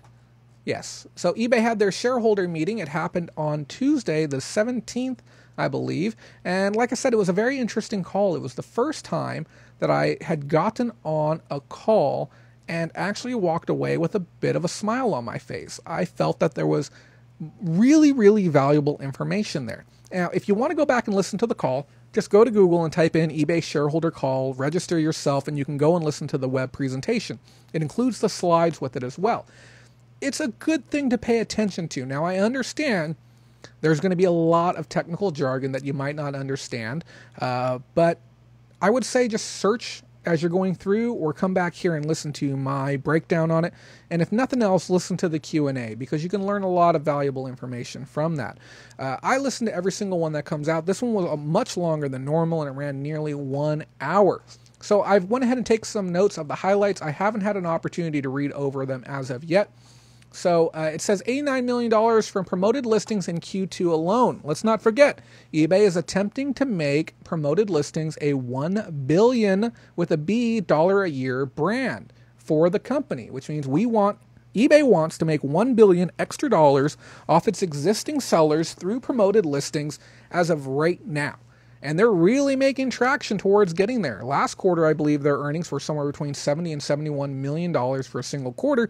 Now, they're not going to hit their goal for this year. It's simply not going to happen. And I don't see eBay Open acting as a catalyst to help them get there. so, to hear that the numbers are going up, though, certainly scares me because it's going to adjust the climate for sellers moving forward. You're either a promoted listing seller or you're not, and by not being, you're going to be at a disadvantage comparative to those who are. We still need more clarification on how promoted listings directly affect sellers, but as was seen earlier within our group last week, Jane Miller put up a post talking about how search was screwed up eBay promoted listings is now interjecting listings in where they don't belong. So if you do a search for price plus shipping lowest first on red Nike shoes, you're going to see that a promoted listing can actually come out of place and really makes the entire search process an uglier one than it was already before. It frustrates me. On top of that, uh, GMV was flat for year over year. Basically means that they aren't really showing much growth based on last year's number. GMV is gross merchandise volume, so things were uh, uh, pretty flat all in all. They've also announced now that they've gone from 4,500 up to 6,000 managed payment sellers. Like I said before, they're capped on the number of managed payment sellers that they can have based on a deal that was signed with PayPal at the time that they decided to part ways. Uh, on top of that, uh, they also recently made an acquisition with uh, Paytm Mall in India, and they made a 5.5% purchase into that brand, which I think is a smart play to try and get more reach within the Indian market. They've had a lot of trouble with integration into India in the past, having started before and then sold off a share, you know, of their classified division. They've seen that the action that Flipkart and other brands have had there, and I don't blame them for trying again. Like we said uh, two weeks ago, India is rapidly becoming an emerging market that everyone needs to take notice of because we have billions of people coming to the internet for the very first time and the prospect of being able to buy American goods from emerging markets is something that we've seen China do in the past with blue jeans. Who remembers those days when your old Levi's were worth $400 a pair simply because they were distressed and worn by somebody in America? We're going to see similar types of things happening with India. I think it's amazing that uh, eBay is working hard to establish a larger market share in that area. Uh, on top of this, though, there are some downsides, though, because we have to understand that the further that eBay reaches away from America, the less that they're going to need American sellers to really keep their bottom line where they want it to be, not only for themselves, but for shareholders as well. Uh, they attributed the lower than normal GMV due to the addition of sales tax. Now, when we had our shareholder call last time, the Q1 shareholder call, we only saw a handful of states actually have sales tax imposed. Where we're at right now, we're seeing somewhere in the mid 20, 20, 22, 23 states have already got their tax in place, and they said we didn't expect this level of expansion to actually happen. We didn't think that that many states were going to take it up that quickly. And I'll tell you right now, the amount of laws coming into play that are going to be affecting sellers. I said it before and I'll say it again. This is the year that's going to define selling online for the next generation. Honestly, there's a lot that's happening right now. Um, they said that the sales tax increase had the biggest impact on high cost items. Doesn't surprise me. Why would I want to sell a 20, 30, 40, 50,000 dollar car online knowing that I'm going to have to impose a buyer with a sales tax which I would have otherwise not had to with a private sale. I can assure you that there's people that are doing more and more to bring their transactions offline now than how it was before because there's a lot more motivation to do so. Not only did we see escalated rates for uh, fees in those specific categories, you know, a lot of the high ticket type stuff uh, went up in fees. Now we're looking at passing along the sales tax burden to the consumer as well, which doesn't surprise me that people are going to want to step away. Aaron Clue says the only panel without Q&A is managed listings or managed payments rather. I think there's one with and one without. Uh, they're doing two different ones. So if you're somebody who's interested in it, you can ask questions. If you're somebody who's already been invited, then you can go and ask questions. It's a it's very interesting how they've done that. But uh, good uh, good catch on that, honestly. Uh, they said transaction revenue is at 5%. GMV and revenue caps grew uh, primarily due to promoted listings. Now, we saw this last time around on the Q1 shareholder call, where promoted listings was pretty much the only thing that kept eBay profitable. They said GMV or gross merchandise volume was down, meaning that everyone as a whole sold less, yet eBay uh, as the standalone, we're not including StubHub, we're not including eBay Classified, we're saying eBay alone still managed to turn a profit. And what they said this time around, but in just a little bit of a fluffier sense, is that eBay would have lost money this quarter. We would have shown a strong reduction in uh, total revenue if it wasn't for promoted listings, is what they're saying right there. And they said they can attribute that to that. Here's one of the scary things, guys.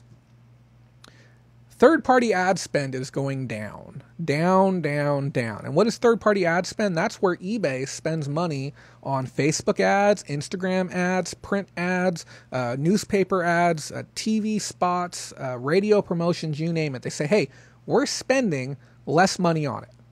And now we know why and they, they, they said it in such a oh, sneaky way that really rubbed me wrong. And basically, what they're saying is that we don't need to spend nearly as much on third party ads because our first party ad uh, system is working so well. Why should eBay pay to put an ad in Facebook when you'll pay to put your own ad in Facebook? That's essentially what's happening. First party ads means me and you, it means us buying ads directly from eBay. We're doing it in the form of promoted listings currently. We give them a little extra money, and that offsets the cost of running ads on our other items or running ads on everyone's items. So, why would eBay spend their own money when they can spend your money instead?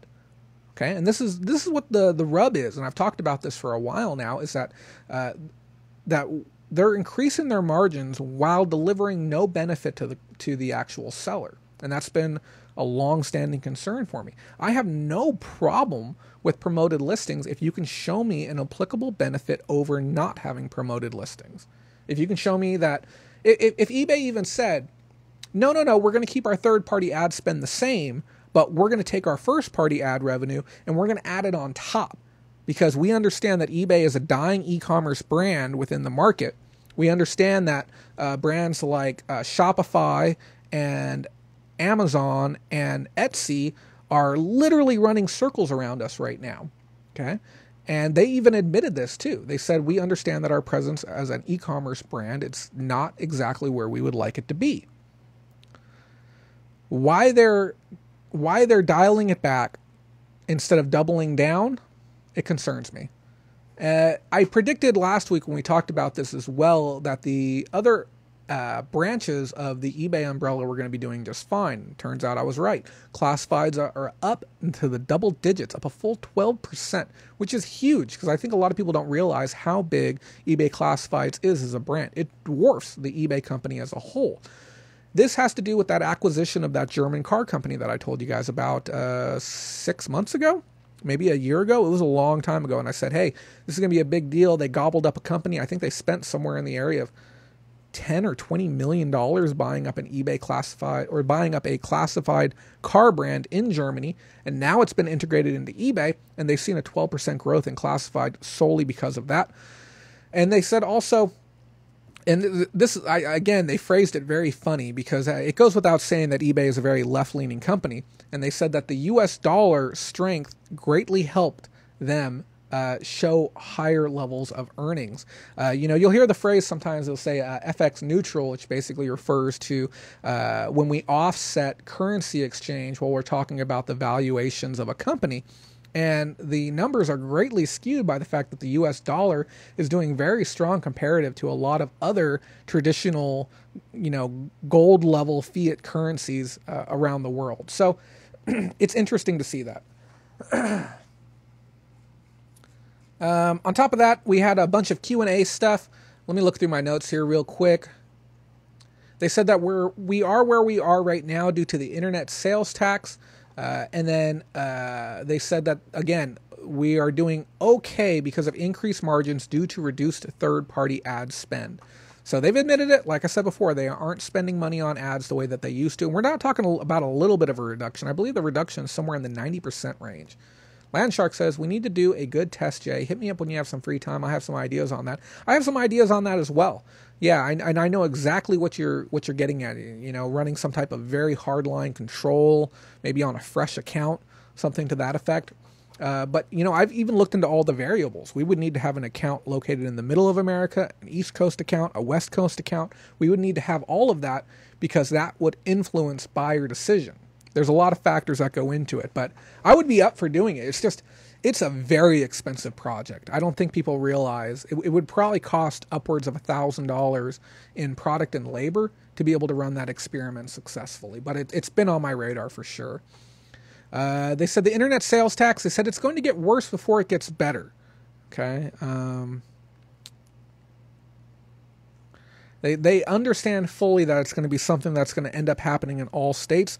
I would still love to see a reversal of the decision, a re reversal of the South Dakota versus what is a Wayfair. I would love to see that flip back in favor of the general consumer because it goes without saying who this is really hurting. It's hurting small and medium sized businesses the most. You know, when we look at large brands, large brands don't care. They've been charging sales tax for years now. You know, even when it wasn't necessary, you go to walmart.com, target.com, bestbuy.com, you're paying sales tax. It's just going to happen. Okay, so they don't care about it. Some medium-sized companies, you know, even ones that are working their way to the large end of things, like uh, I guess like B&H Photo would be a good one, Shock Top. You know, I mean, you have these brands that are really starting to scale. They don't have a problem charging sales tax because it's an established thing.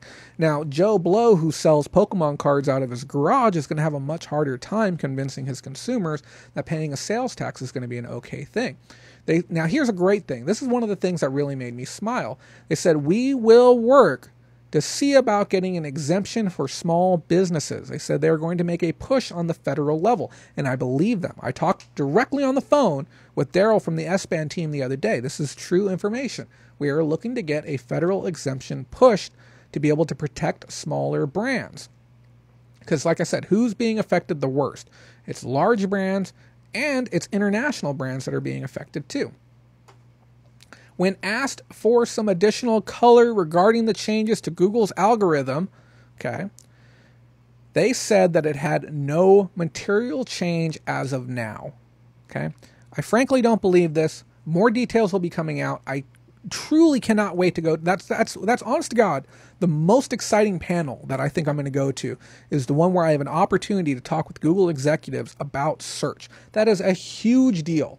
Okay, if you here's the thing, guys, it's such a big deal that if you have other YouTubers that you enjoy watching who you know will be there, tell them to go to that panel. That is the most important panel of the entire event, and I feel everyone should get that information. Okay. Um.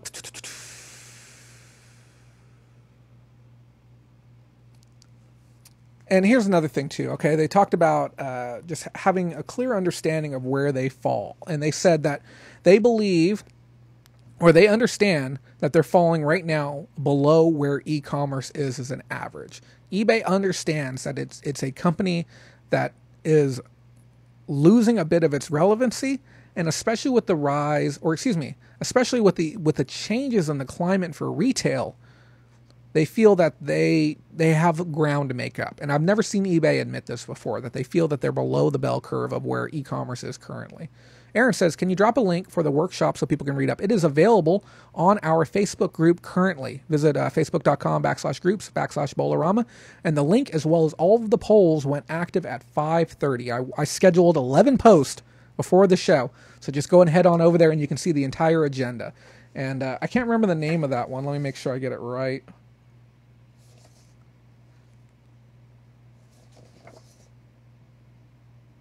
Uh, it says workshop creating listings that show up on Google Shopping. That's going to be uh, the 4:30 p.m. block on July 24th. Aaron, are you going to go to eBay Open? Are you going to be there? You would you would be on my short list of people that I would like to meet. And I'm penning this one in. I, I frankly don't care what everyone votes for on that one. I'm going to that event regardless. No disrespect to anyone else, but that that's a must attend event and I know you guys, I know you guys won't won't be upset with me over that one. And and like I said, I hadn't read any of them before the show, so I didn't really know what was going on. Look at me looking so darn unprofessional. Let me sit up in my chair while I talk to you guys. Where are my manners? Okay. Um. Now, here's the thing that Wenig said when he was on the call. He said there's going to be exclusive discussions regarding ads and other seller perks at eBay Open. He specifically said the word ads. Okay, and we mentioned this before. Uh, six months ago, four months ago, we talked about um, CPC ads, cost per click ads, which is different than what we have been using traditionally. Right now, uh, promoted listings on eBay, we pay eBay a fee when an item sells. Would you be willing to pay them in advance for them to push your item a little bit harder, but have no guarantee that it'll sell. Okay. What is it worth to you as a consumer if you have a four pack of really nice Sharpies that you want to sell? And I said, I, I, I can show your listing to a thousand people, but it's going to cost you $5. You know, is it worth it? Where's your breaking point? So here's the thing that's tricky with uh, CPC advertising is that if you don't understand your market, you don't understand your, uh, I guess, your cost of doing business and what you're willing to spend for your actual conversion or what your conversion rates actually are going to be, it's going to be very difficult to get people on board with that. You're going to see a lot of dissent from people who pay for advertising who get no results and then immediately call it a scam okay, or, or, or say that they've been swindled or they've been had. You're going to have people calling in asking for refunds on their advertising because they just simply don't know how it works it's going to be a very scary time for eBay. And they need to be very careful about how they roll it out. It needs to be God, we need to be talked to like kids, okay, guys? And I know I'd say I hate it when eBay does that, but no disrespect to anyone. I've spent seven or eight years paying for advertising for different brands that I've owned. It is a very complex issue. And even to this day, I don't even feel fully equipped to be able to teach somebody else on how to do it. So that being said, eBay is going to have to make it very, very straightforward on how they plan to uh, pitch it to people. Uh, and then, like I said before, why would eBay pay for their own ads if we're willing to pay for it for them as well? Another interesting detail that they revealed too is that they said they have more millennials coming to the platform than ever before. It's the first time that they're really getting a good millennial push. And on top of that, they said it's mainly women that are coming to the platform. But the downside is is that they're normal spend, the amount of money that they spend uh, per visit or uh, you know during their first month, their initial spend is much lower than the average consumer that comes to the platform. You wonder why? Well, us millennials don't have any damn money. Okay, simply put, that's the reason. That's the secret sauce right there. Uh, but they said that the CLV, which is the customer's lifetime value, is higher. Okay, Good thing. It means that they're sticking around. You know, it, it, and part of that probably has to do with human tendencies. When we know something works, we're uh, accustomed to continuing to use it. And most times people don't delete apps like that. If they went to a site once, it worked for them, and they have that, that button right there on their phone, and they can know they can click on it again and go to it and get something else, they're probably going to do that. So it's interesting to hear that they are tapping into a market that they've historically had trouble tapping into it before. It makes me also ask is there something going on with other markets that are making it so people don't want to do business there. I've said before that Amazon is a disgustingly ugly site, okay? I don't understand how they do so well. Their app isn't even pretty looking either. It's very industrial looking. It's very rugged looking. So maybe eBay's colorful platform is actually attracting that type of market to come across. Uh, and then they also said this was another interesting thing. They said their third party marketing returned customers that were simply not worth it. They said they are removing low ROI third party advertising. So this even goes to show you that even a massive company like eBay didn't even get their own advertising right. Okay, so ROI is your return on investment, and again, your third-party advertising is other companies that they're using. So they said they've gone through and they did an audit of the different brands that they were using. It could be, uh, you know, Facebook, Instagram, Snap, wherever they were jamming their ads out, and they said we're removing our lowest producing ones, the ones that are just simply not making as much money for what they're worth. And on top of that, the ones that had been bringing us some customers, those customers were garbage. So they were paying for very ineffective advertising at some point. We talked about this before when we talked about the Elliott Management merge, or not merger, the Elliott Management when they purchased four and a half percent, got a seat on the board. We said certain things are going to get changed. We're going to see a trimming of the fat, so to speak. We're going to see a reduction in just expenditures across the board. They're going to make the company leaner. This is something that the Elliott has been known for doing historically in the past. They're going to lean the company out, and we're seeing the direct effect of that right now. We're we're seeing a company who has nearly a trillion dollars worth of assets on hand stepping into a company like eBay, which, let's be honest, has been struggling for the last couple of years to really gain market share. They're stepping in and saying, hey, we're going to do what we did for every other company. We're going to do it for you, and it's going to help your company grow. And we're starting to see that. We're seeing it in the numbers. You know, when was the last time you saw a company show flat GMV during a shareholder call, lose 80 cents on the day, uh, in stock value and then immediately bounce back the following day. So we saw a very quick market response, and we saw it snap back, and you can expect growth. I'm going to go ahead and call it right now. We're probably going to see eBay creep up to, I'm going to say $46 a share, maybe $47 a share by Christmas Day. That's my prediction. I think that they're on the right track with what they're doing because they are really leaning out. When a company starts making more money, we just cross our fingers and hope that that works its way all the way down to us. Somebody write it down. I'm calling it right now. $47 a share by Christmas this year. Uh, on top of that, they also said too that their uh, their affiliate and social channels and direct traffic that they're working with all of those. Uh, when somebody had asked regarding eBay and Libra, and some of you guys kind of shook your head at me when I spent an hour talking about Libra and Facebook the other day, and I said this is important. This is something that we need to talk about because eBay being a participant with Libra is something we need to keep our eye on. Devin Wenig shocked me, just completely blew my mind with the with the with the command and understanding that he had for Bitcoin during that call. I mean, it's not like crazy off the radar, but I would have never expected Devin to understand what Bitcoin was.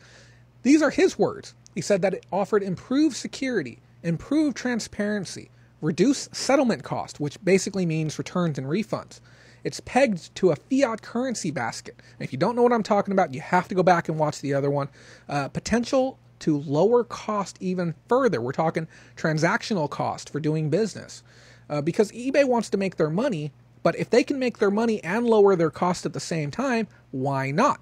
You know, we've already seen technically a reduction of two from 2.9 to 2.75 going from PayPal to managed payments. But if we could go from 2.7 down to maybe something a little more enticing like a 2.0 or a 2.2, I'm all for it. it just means more money in our pocket. and it says uh, participants and advocates on behalf of our customers. They, they, they're saying that we want to step up to the plate. We want to give our money because we believe in this. And remember what I told you each company that stepped up to the plate to be a part of Libra with Facebook spent $10 million. And they aren't uh, they aren't being foolish though. They say we understand. There's a lot of red tape that we have to get through. There's a lot of things that are going on with the government, and we we, we get that this might not take off, but we want to stand here and say we are advocates for what's happening. Mindy, head into bed. Must believe. Yep. Have a great night. And thank you so much for that care package again. I really, really do appreciate it. And if you ever need anything, please don't be afraid to ask. Uh, yeah, thank you. Oh, and I forgot to mention those of you guys who are signing up for Prairie Grit, use my link. Okay. Um, I think it's Prairie. Pam, you got my link for Prairie Grit. Use the use my link to sign up so we can keep track of you. And if you're signing up and you don't want to be a patron, uh, just use my link as well too. It definitely helps out. So guys, that was the highlights regarding the shareholder call. Do we have any other slides today? Nope. That's our last slide, guys. We're going to be taking a look at some items. One more time, we want to thank our patrons again Pam, Matthew, Ashley, Anna and Joe, Allie, Lee James, Brandy, Rob, as well as the rest of you guys. There's a whole bunch of you there on screen but I would look ridiculous if I read everyone's names back to back right now. So, those of you who don't know this, I have not been sourcing for over two weeks now. I've been showcasing, actually, probably closer to three weeks, and some of you guys thought I was crazy. I would never make it, but I'll tell you, I've made it. I have one last bin of items to show you. I haven't seen these items in a month. Okay, so we'll see what's in there and we'll have a good time with it. If you guys have any questions, please don't be afraid to leave them in the comments. This is one of your last chances to help us out with eBay Open. If you've sat back and you've thought to yourself, you're like, man, you know what? I'm a $15 patron, but I think I can go to 20 and I want to help Jay out with what he's doing. Tonight is a fantastic night to do that. And if you thought to yourself, man, God, this guy in his pink shirt, I really want to help him out and click that super chat button. Just, hmm, just because I, I know. And I'll tell you too, if you, you know, this is a confirmed fact. Those who super chat actually get a higher level of sales on their eBay store. That's complete bollocks, guys. Don't believe me. So let's take a look at the items that I got.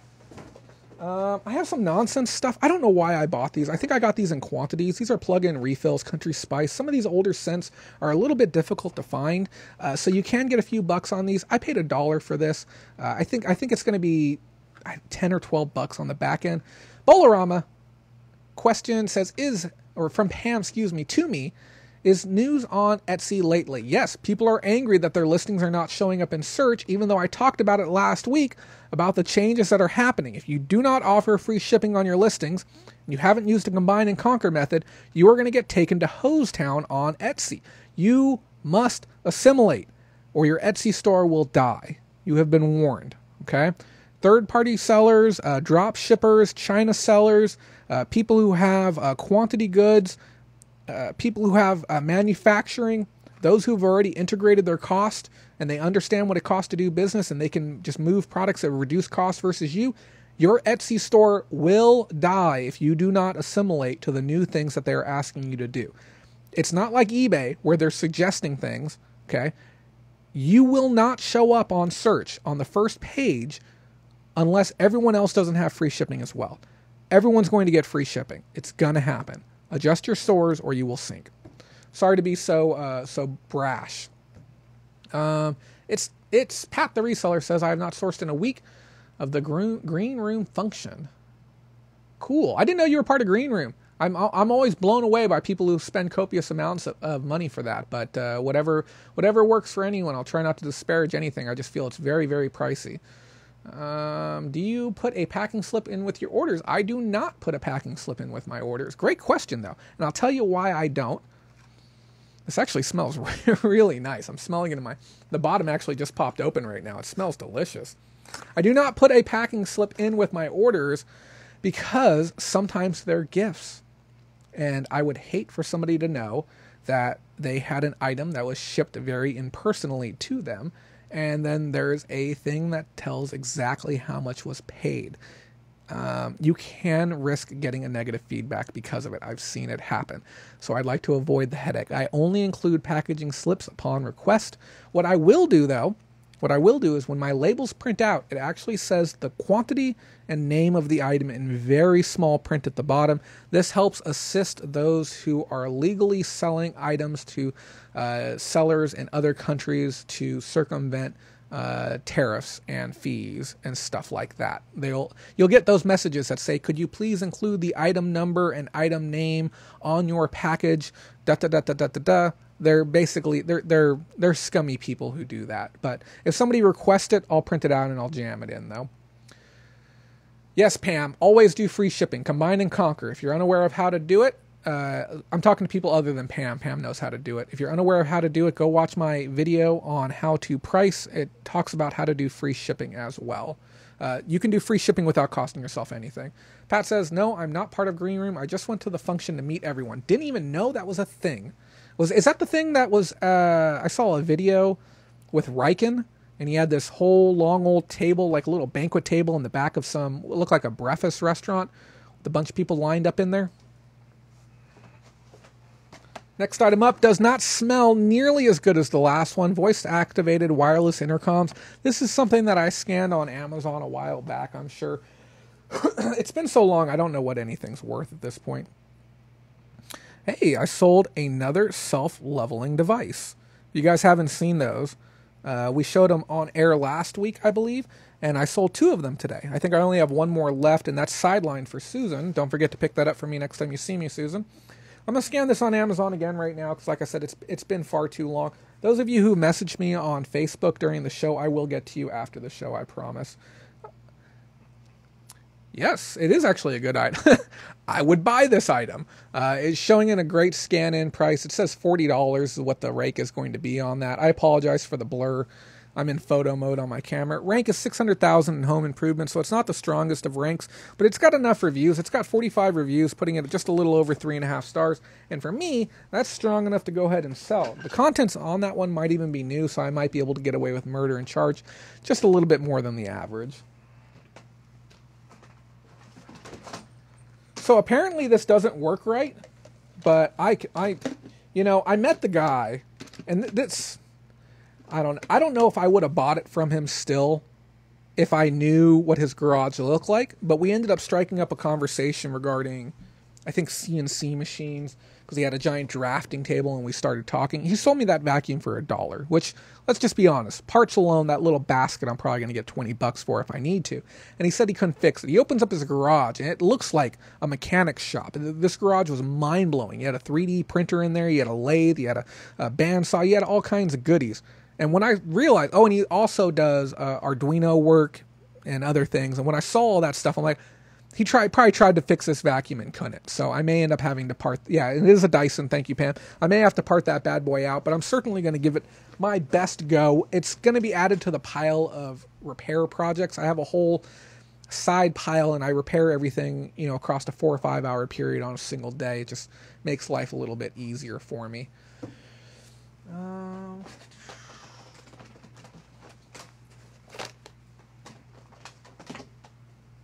I got a whole gob of video games.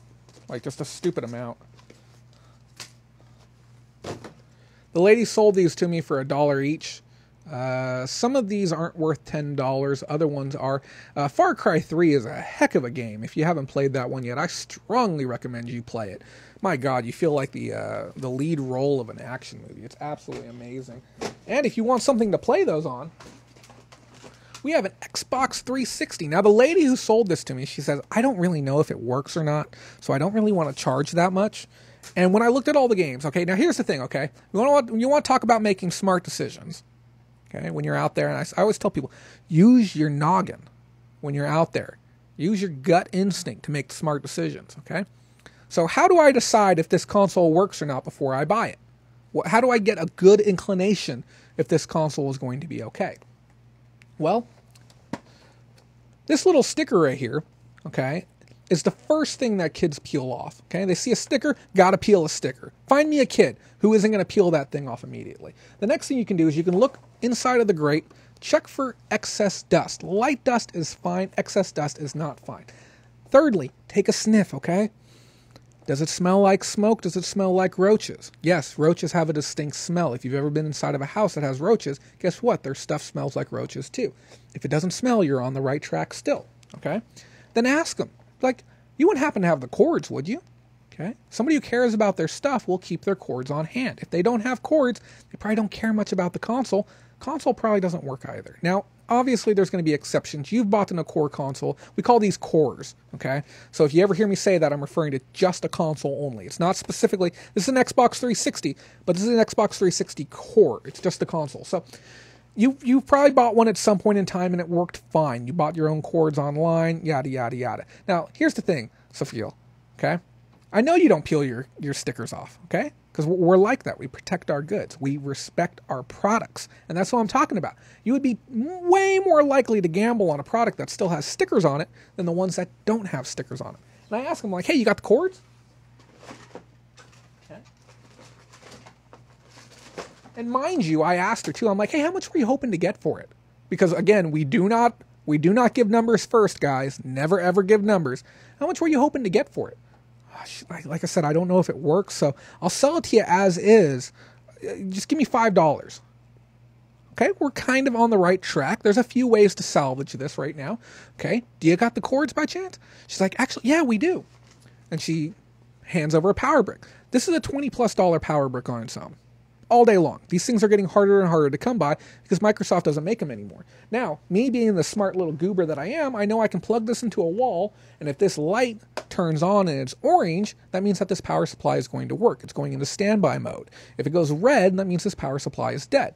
So I plug that in. I don't even plug it into the console. I'm that damn confident, okay? I still haven't even plugged it into the console. I don't even know if I have a power strip nearby, but yeah, and and then here one more thing: the seal on the back is intact, and the last chance you have to salvage money out of these, pop open the base. This comes off. Check for a hard drive. Okay, this one does not have a hard drive, but if you have like a 250 gig, a 500 gig, you can get anywhere between 20 to 40 bucks for those on their own as well. So I got a massive stack of games for about ten dollars, a console for five. I can't remember if I got a controller or not. I know the video cable's in there somewhere too. Whatever. It's free money. And I'll show you guys me testing that as well. Oh, she gave me this for free too. It's the battery charging station for it.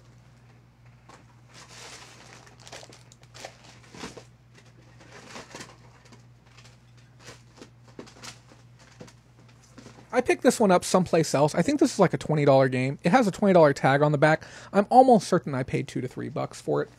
Uh, picked up a Pokemon Black.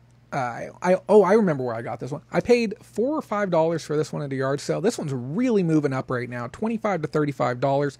Again, I, I had somebody get into a little bit with me, trying to tell me that uh, it was it was within Corey's group. Believe it or not, this is the first time I got a little feisty on somebody because somebody had posted up an image showing Pokemon Gold and Pokemon Silver, and I, I believe somebody's like somebody wants thirty dollars for this. Is this a good deal?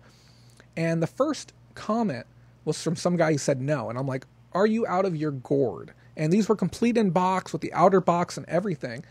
And he's like, no, they're worthless. And he posted up a screenshot showing a counterfeit copy of Pokemon Gold and it's like visibly counterfeit to me.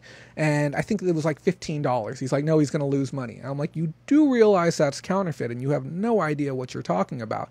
And I posted up a screenshot showing an authentic one. It's like 65 or seventy-five dollars for one of the games, complete in box with the outer box. I'm like, dude, you're you're absolutely mental. Here's the real one. So again, be mindful of where you get your advice. There's a lot of really bad people posing as resellers. What do you, what's the phrase? Uh, a wolf in sheep's clothing. I see it all over the internet all day long. And this is why, if you have a group, I no longer follow your group. I do not respond to any messages in any groups. If you tag me in a post in another group, I will not comment in that group. If you need any help, come to my group. That's where I'm going to be because I just get myself in far too much trouble in other groups. So feel Pokemon games are always so expensive even when used. If you need some deals on some, fire me a message. I'll take care of you. Okay, I, I, have, a, I have a knack for finding good cheap games. You'll like this one. Yeah, I know you've played the heck out of this one. Yeah, no, no, nothing wrong with picking up a copy of Orange Box, especially especially for a dollar. I mean, why not? And most of the games that I bought, I'm going to be honest with you, I'll be able to resell maybe two or three of them online. The rest of them going straight into my collection. They're games that I had sold before in the past that I have. I will always take another copy of Far Cry 3 and throw it in the shelf.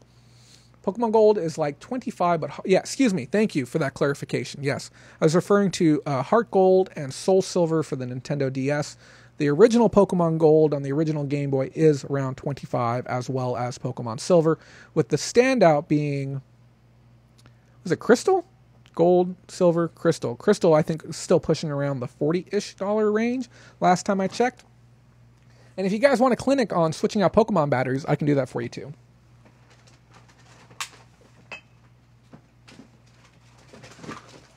I got some nonsense. No one cares about this. You guys, you're not going to learn anything from me talking about routers. Oh, guys, remember that mouse? I think I posted up online. I ended up making like 60 some odd dollars on that mouse. I ended up picking up another one. This is a, a deluxe. I've never seen a wrist rest of this size. Look at this bad boy. My God. I could take a nap on this wrist rest. Thing's huge. Um, but it, it feels decent and it has the USB adapter with it, which is great. Guy sold it to me for two bucks. Didn't even look it up because worst case scenario, I'll use this thing for my other computer. This thing is proper decent, and it has three buttons on the four. It has four buttons on the side. My my other mouse has three uppers. This one has three uppers and one lower. Really nice. And then you can uh, you can even adjust the wheel as well as far as pressure and sensitivity. Very nice mouse. No clue what it's worth, but good piece to pick up. Um, and I guess part of why I'm even telling you guys this stuff is so that way you can maybe take away some tiny tidbits as far as things to look for. If you see a computer mouse and you know nothing about it, you can say, "Oh, it has a sh- it has a, a whole lot of buttons on it. Maybe I should consider getting it." Uh, I picked up four DS games. The only one worth anything is Sonic Rush, as far as I know. I think it's worth about a tenner. It's probably going to get bundled with the console at some point. You know, you know what I can do with this? I just realized I needed a small case for holding SD cards for my trip. I am totally boosting this for my trip when I pack.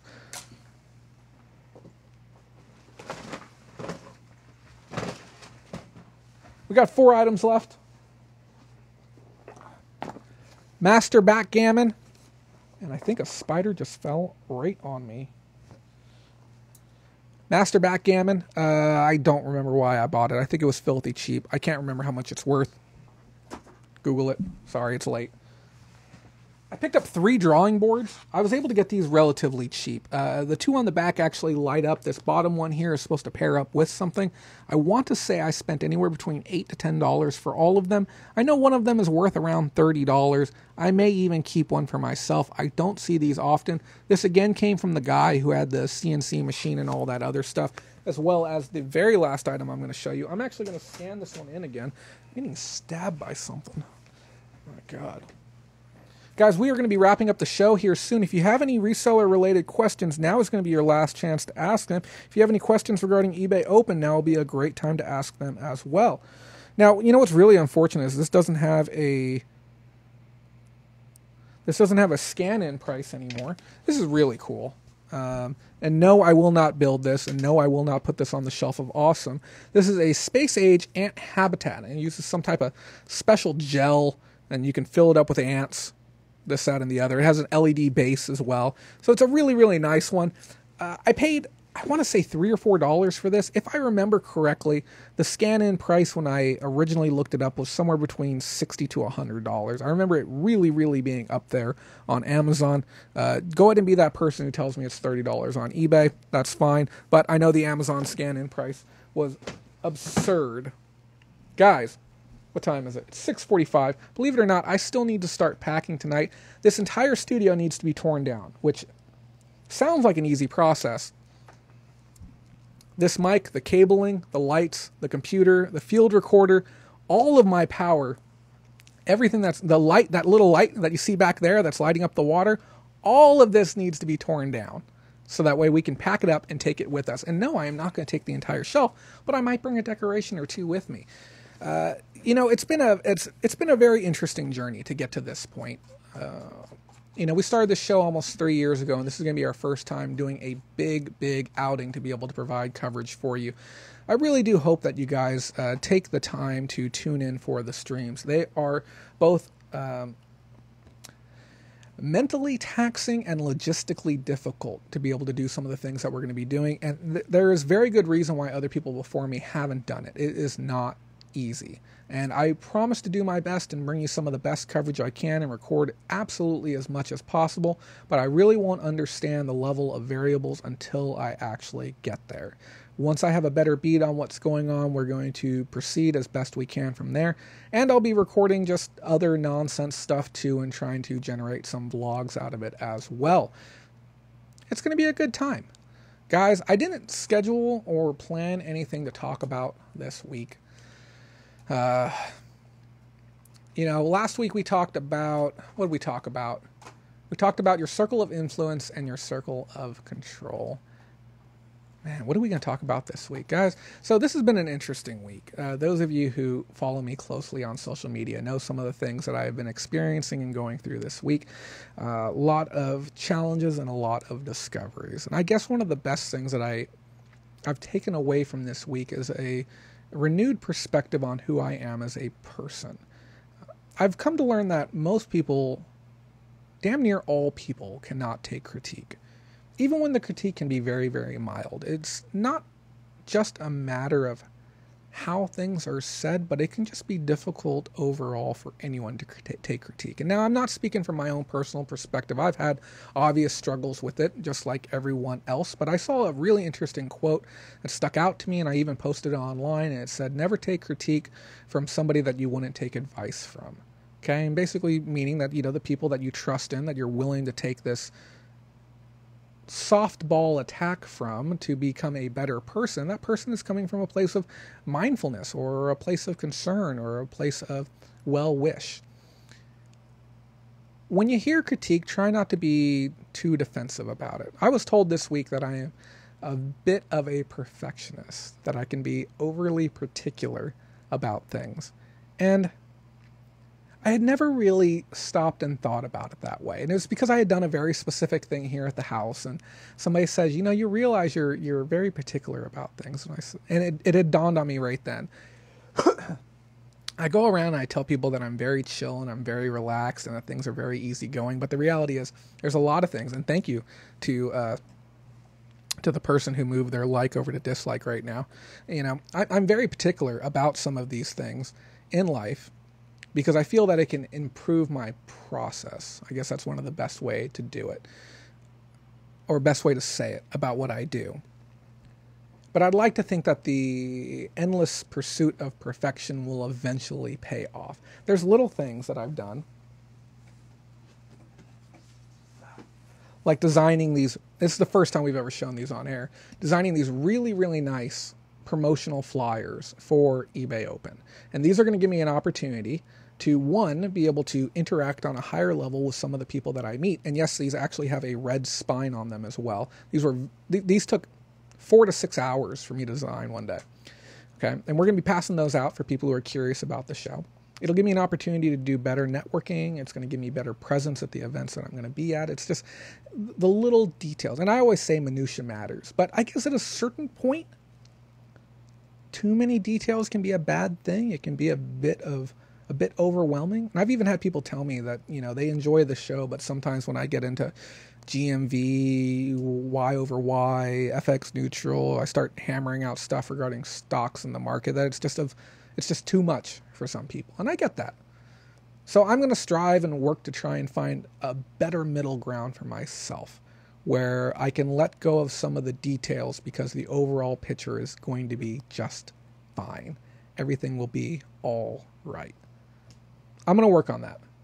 But I'll tell you, the amount of details that I've prepped myself for for Vegas would probably make some of you very nervous. I know where I'm staying, I know how to get to the parking garage, I know exactly how much it is per night, I know who I need to speak to to upgrade the internet at the hotel. I've prepared an extra 50 feet worth of Cat 6 cable, 50 feet worth of extension power, uh, 50 feet worth of extension cable for my camera uh, backup batteries, backup cables, extra XLR cables, extra backup microphone. I think I might have gotten a little bit too particular. But I don't know. Is it better to be uh, over prepared than under prepared? I think it might be best just to find that middle line. That being said, guys, this has been the Sunday reseller roundup for June, excuse me, I wish it was June, July 21st, 2019. Thank you so much again to everyone who was here today. Special thank you to those of you who donated to the show tonight. We got Red Neckerson resales for 222 and we had Ursula for $18. Looks like Dan the CNC man just dropped a dollar and 99 cent super chat as well, saying have a good time. Thank you very much, my friend. If you are going to make it out there, I do hope to see you. Uh, as always, guys, if you feel like extending the discussion, don't be afraid to reach out to me this evening. I'll be happy to talk with any and all of you.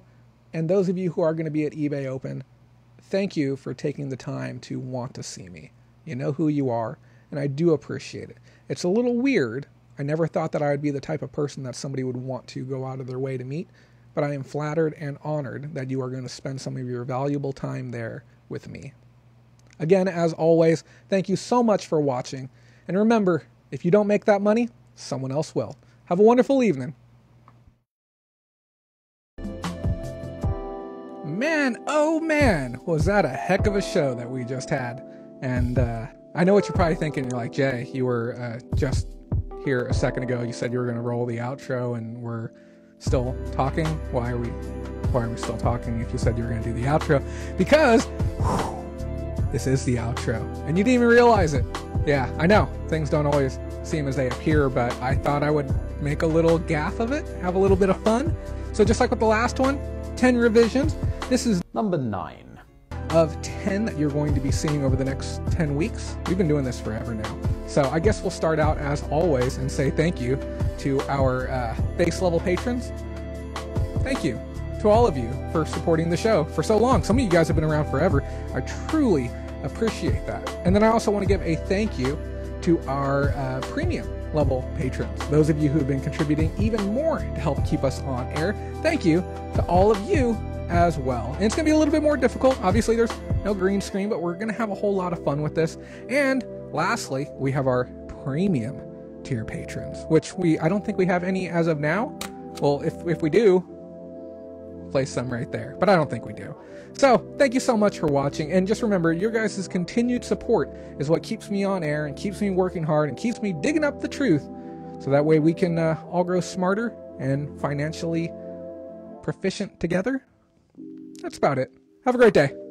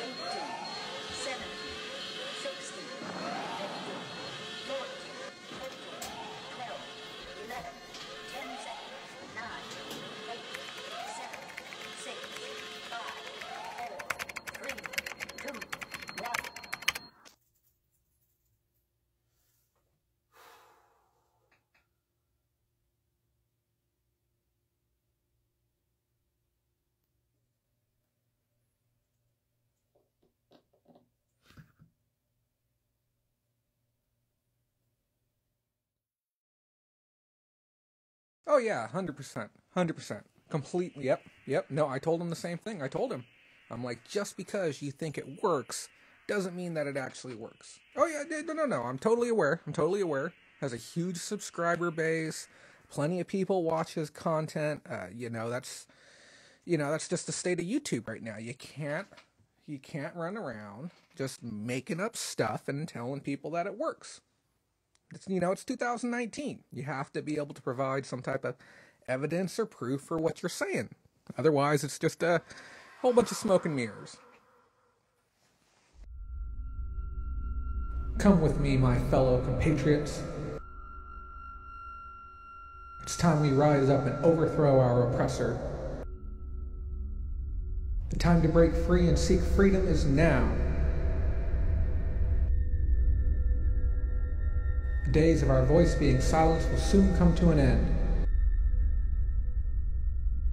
We will be heard by any means necessary.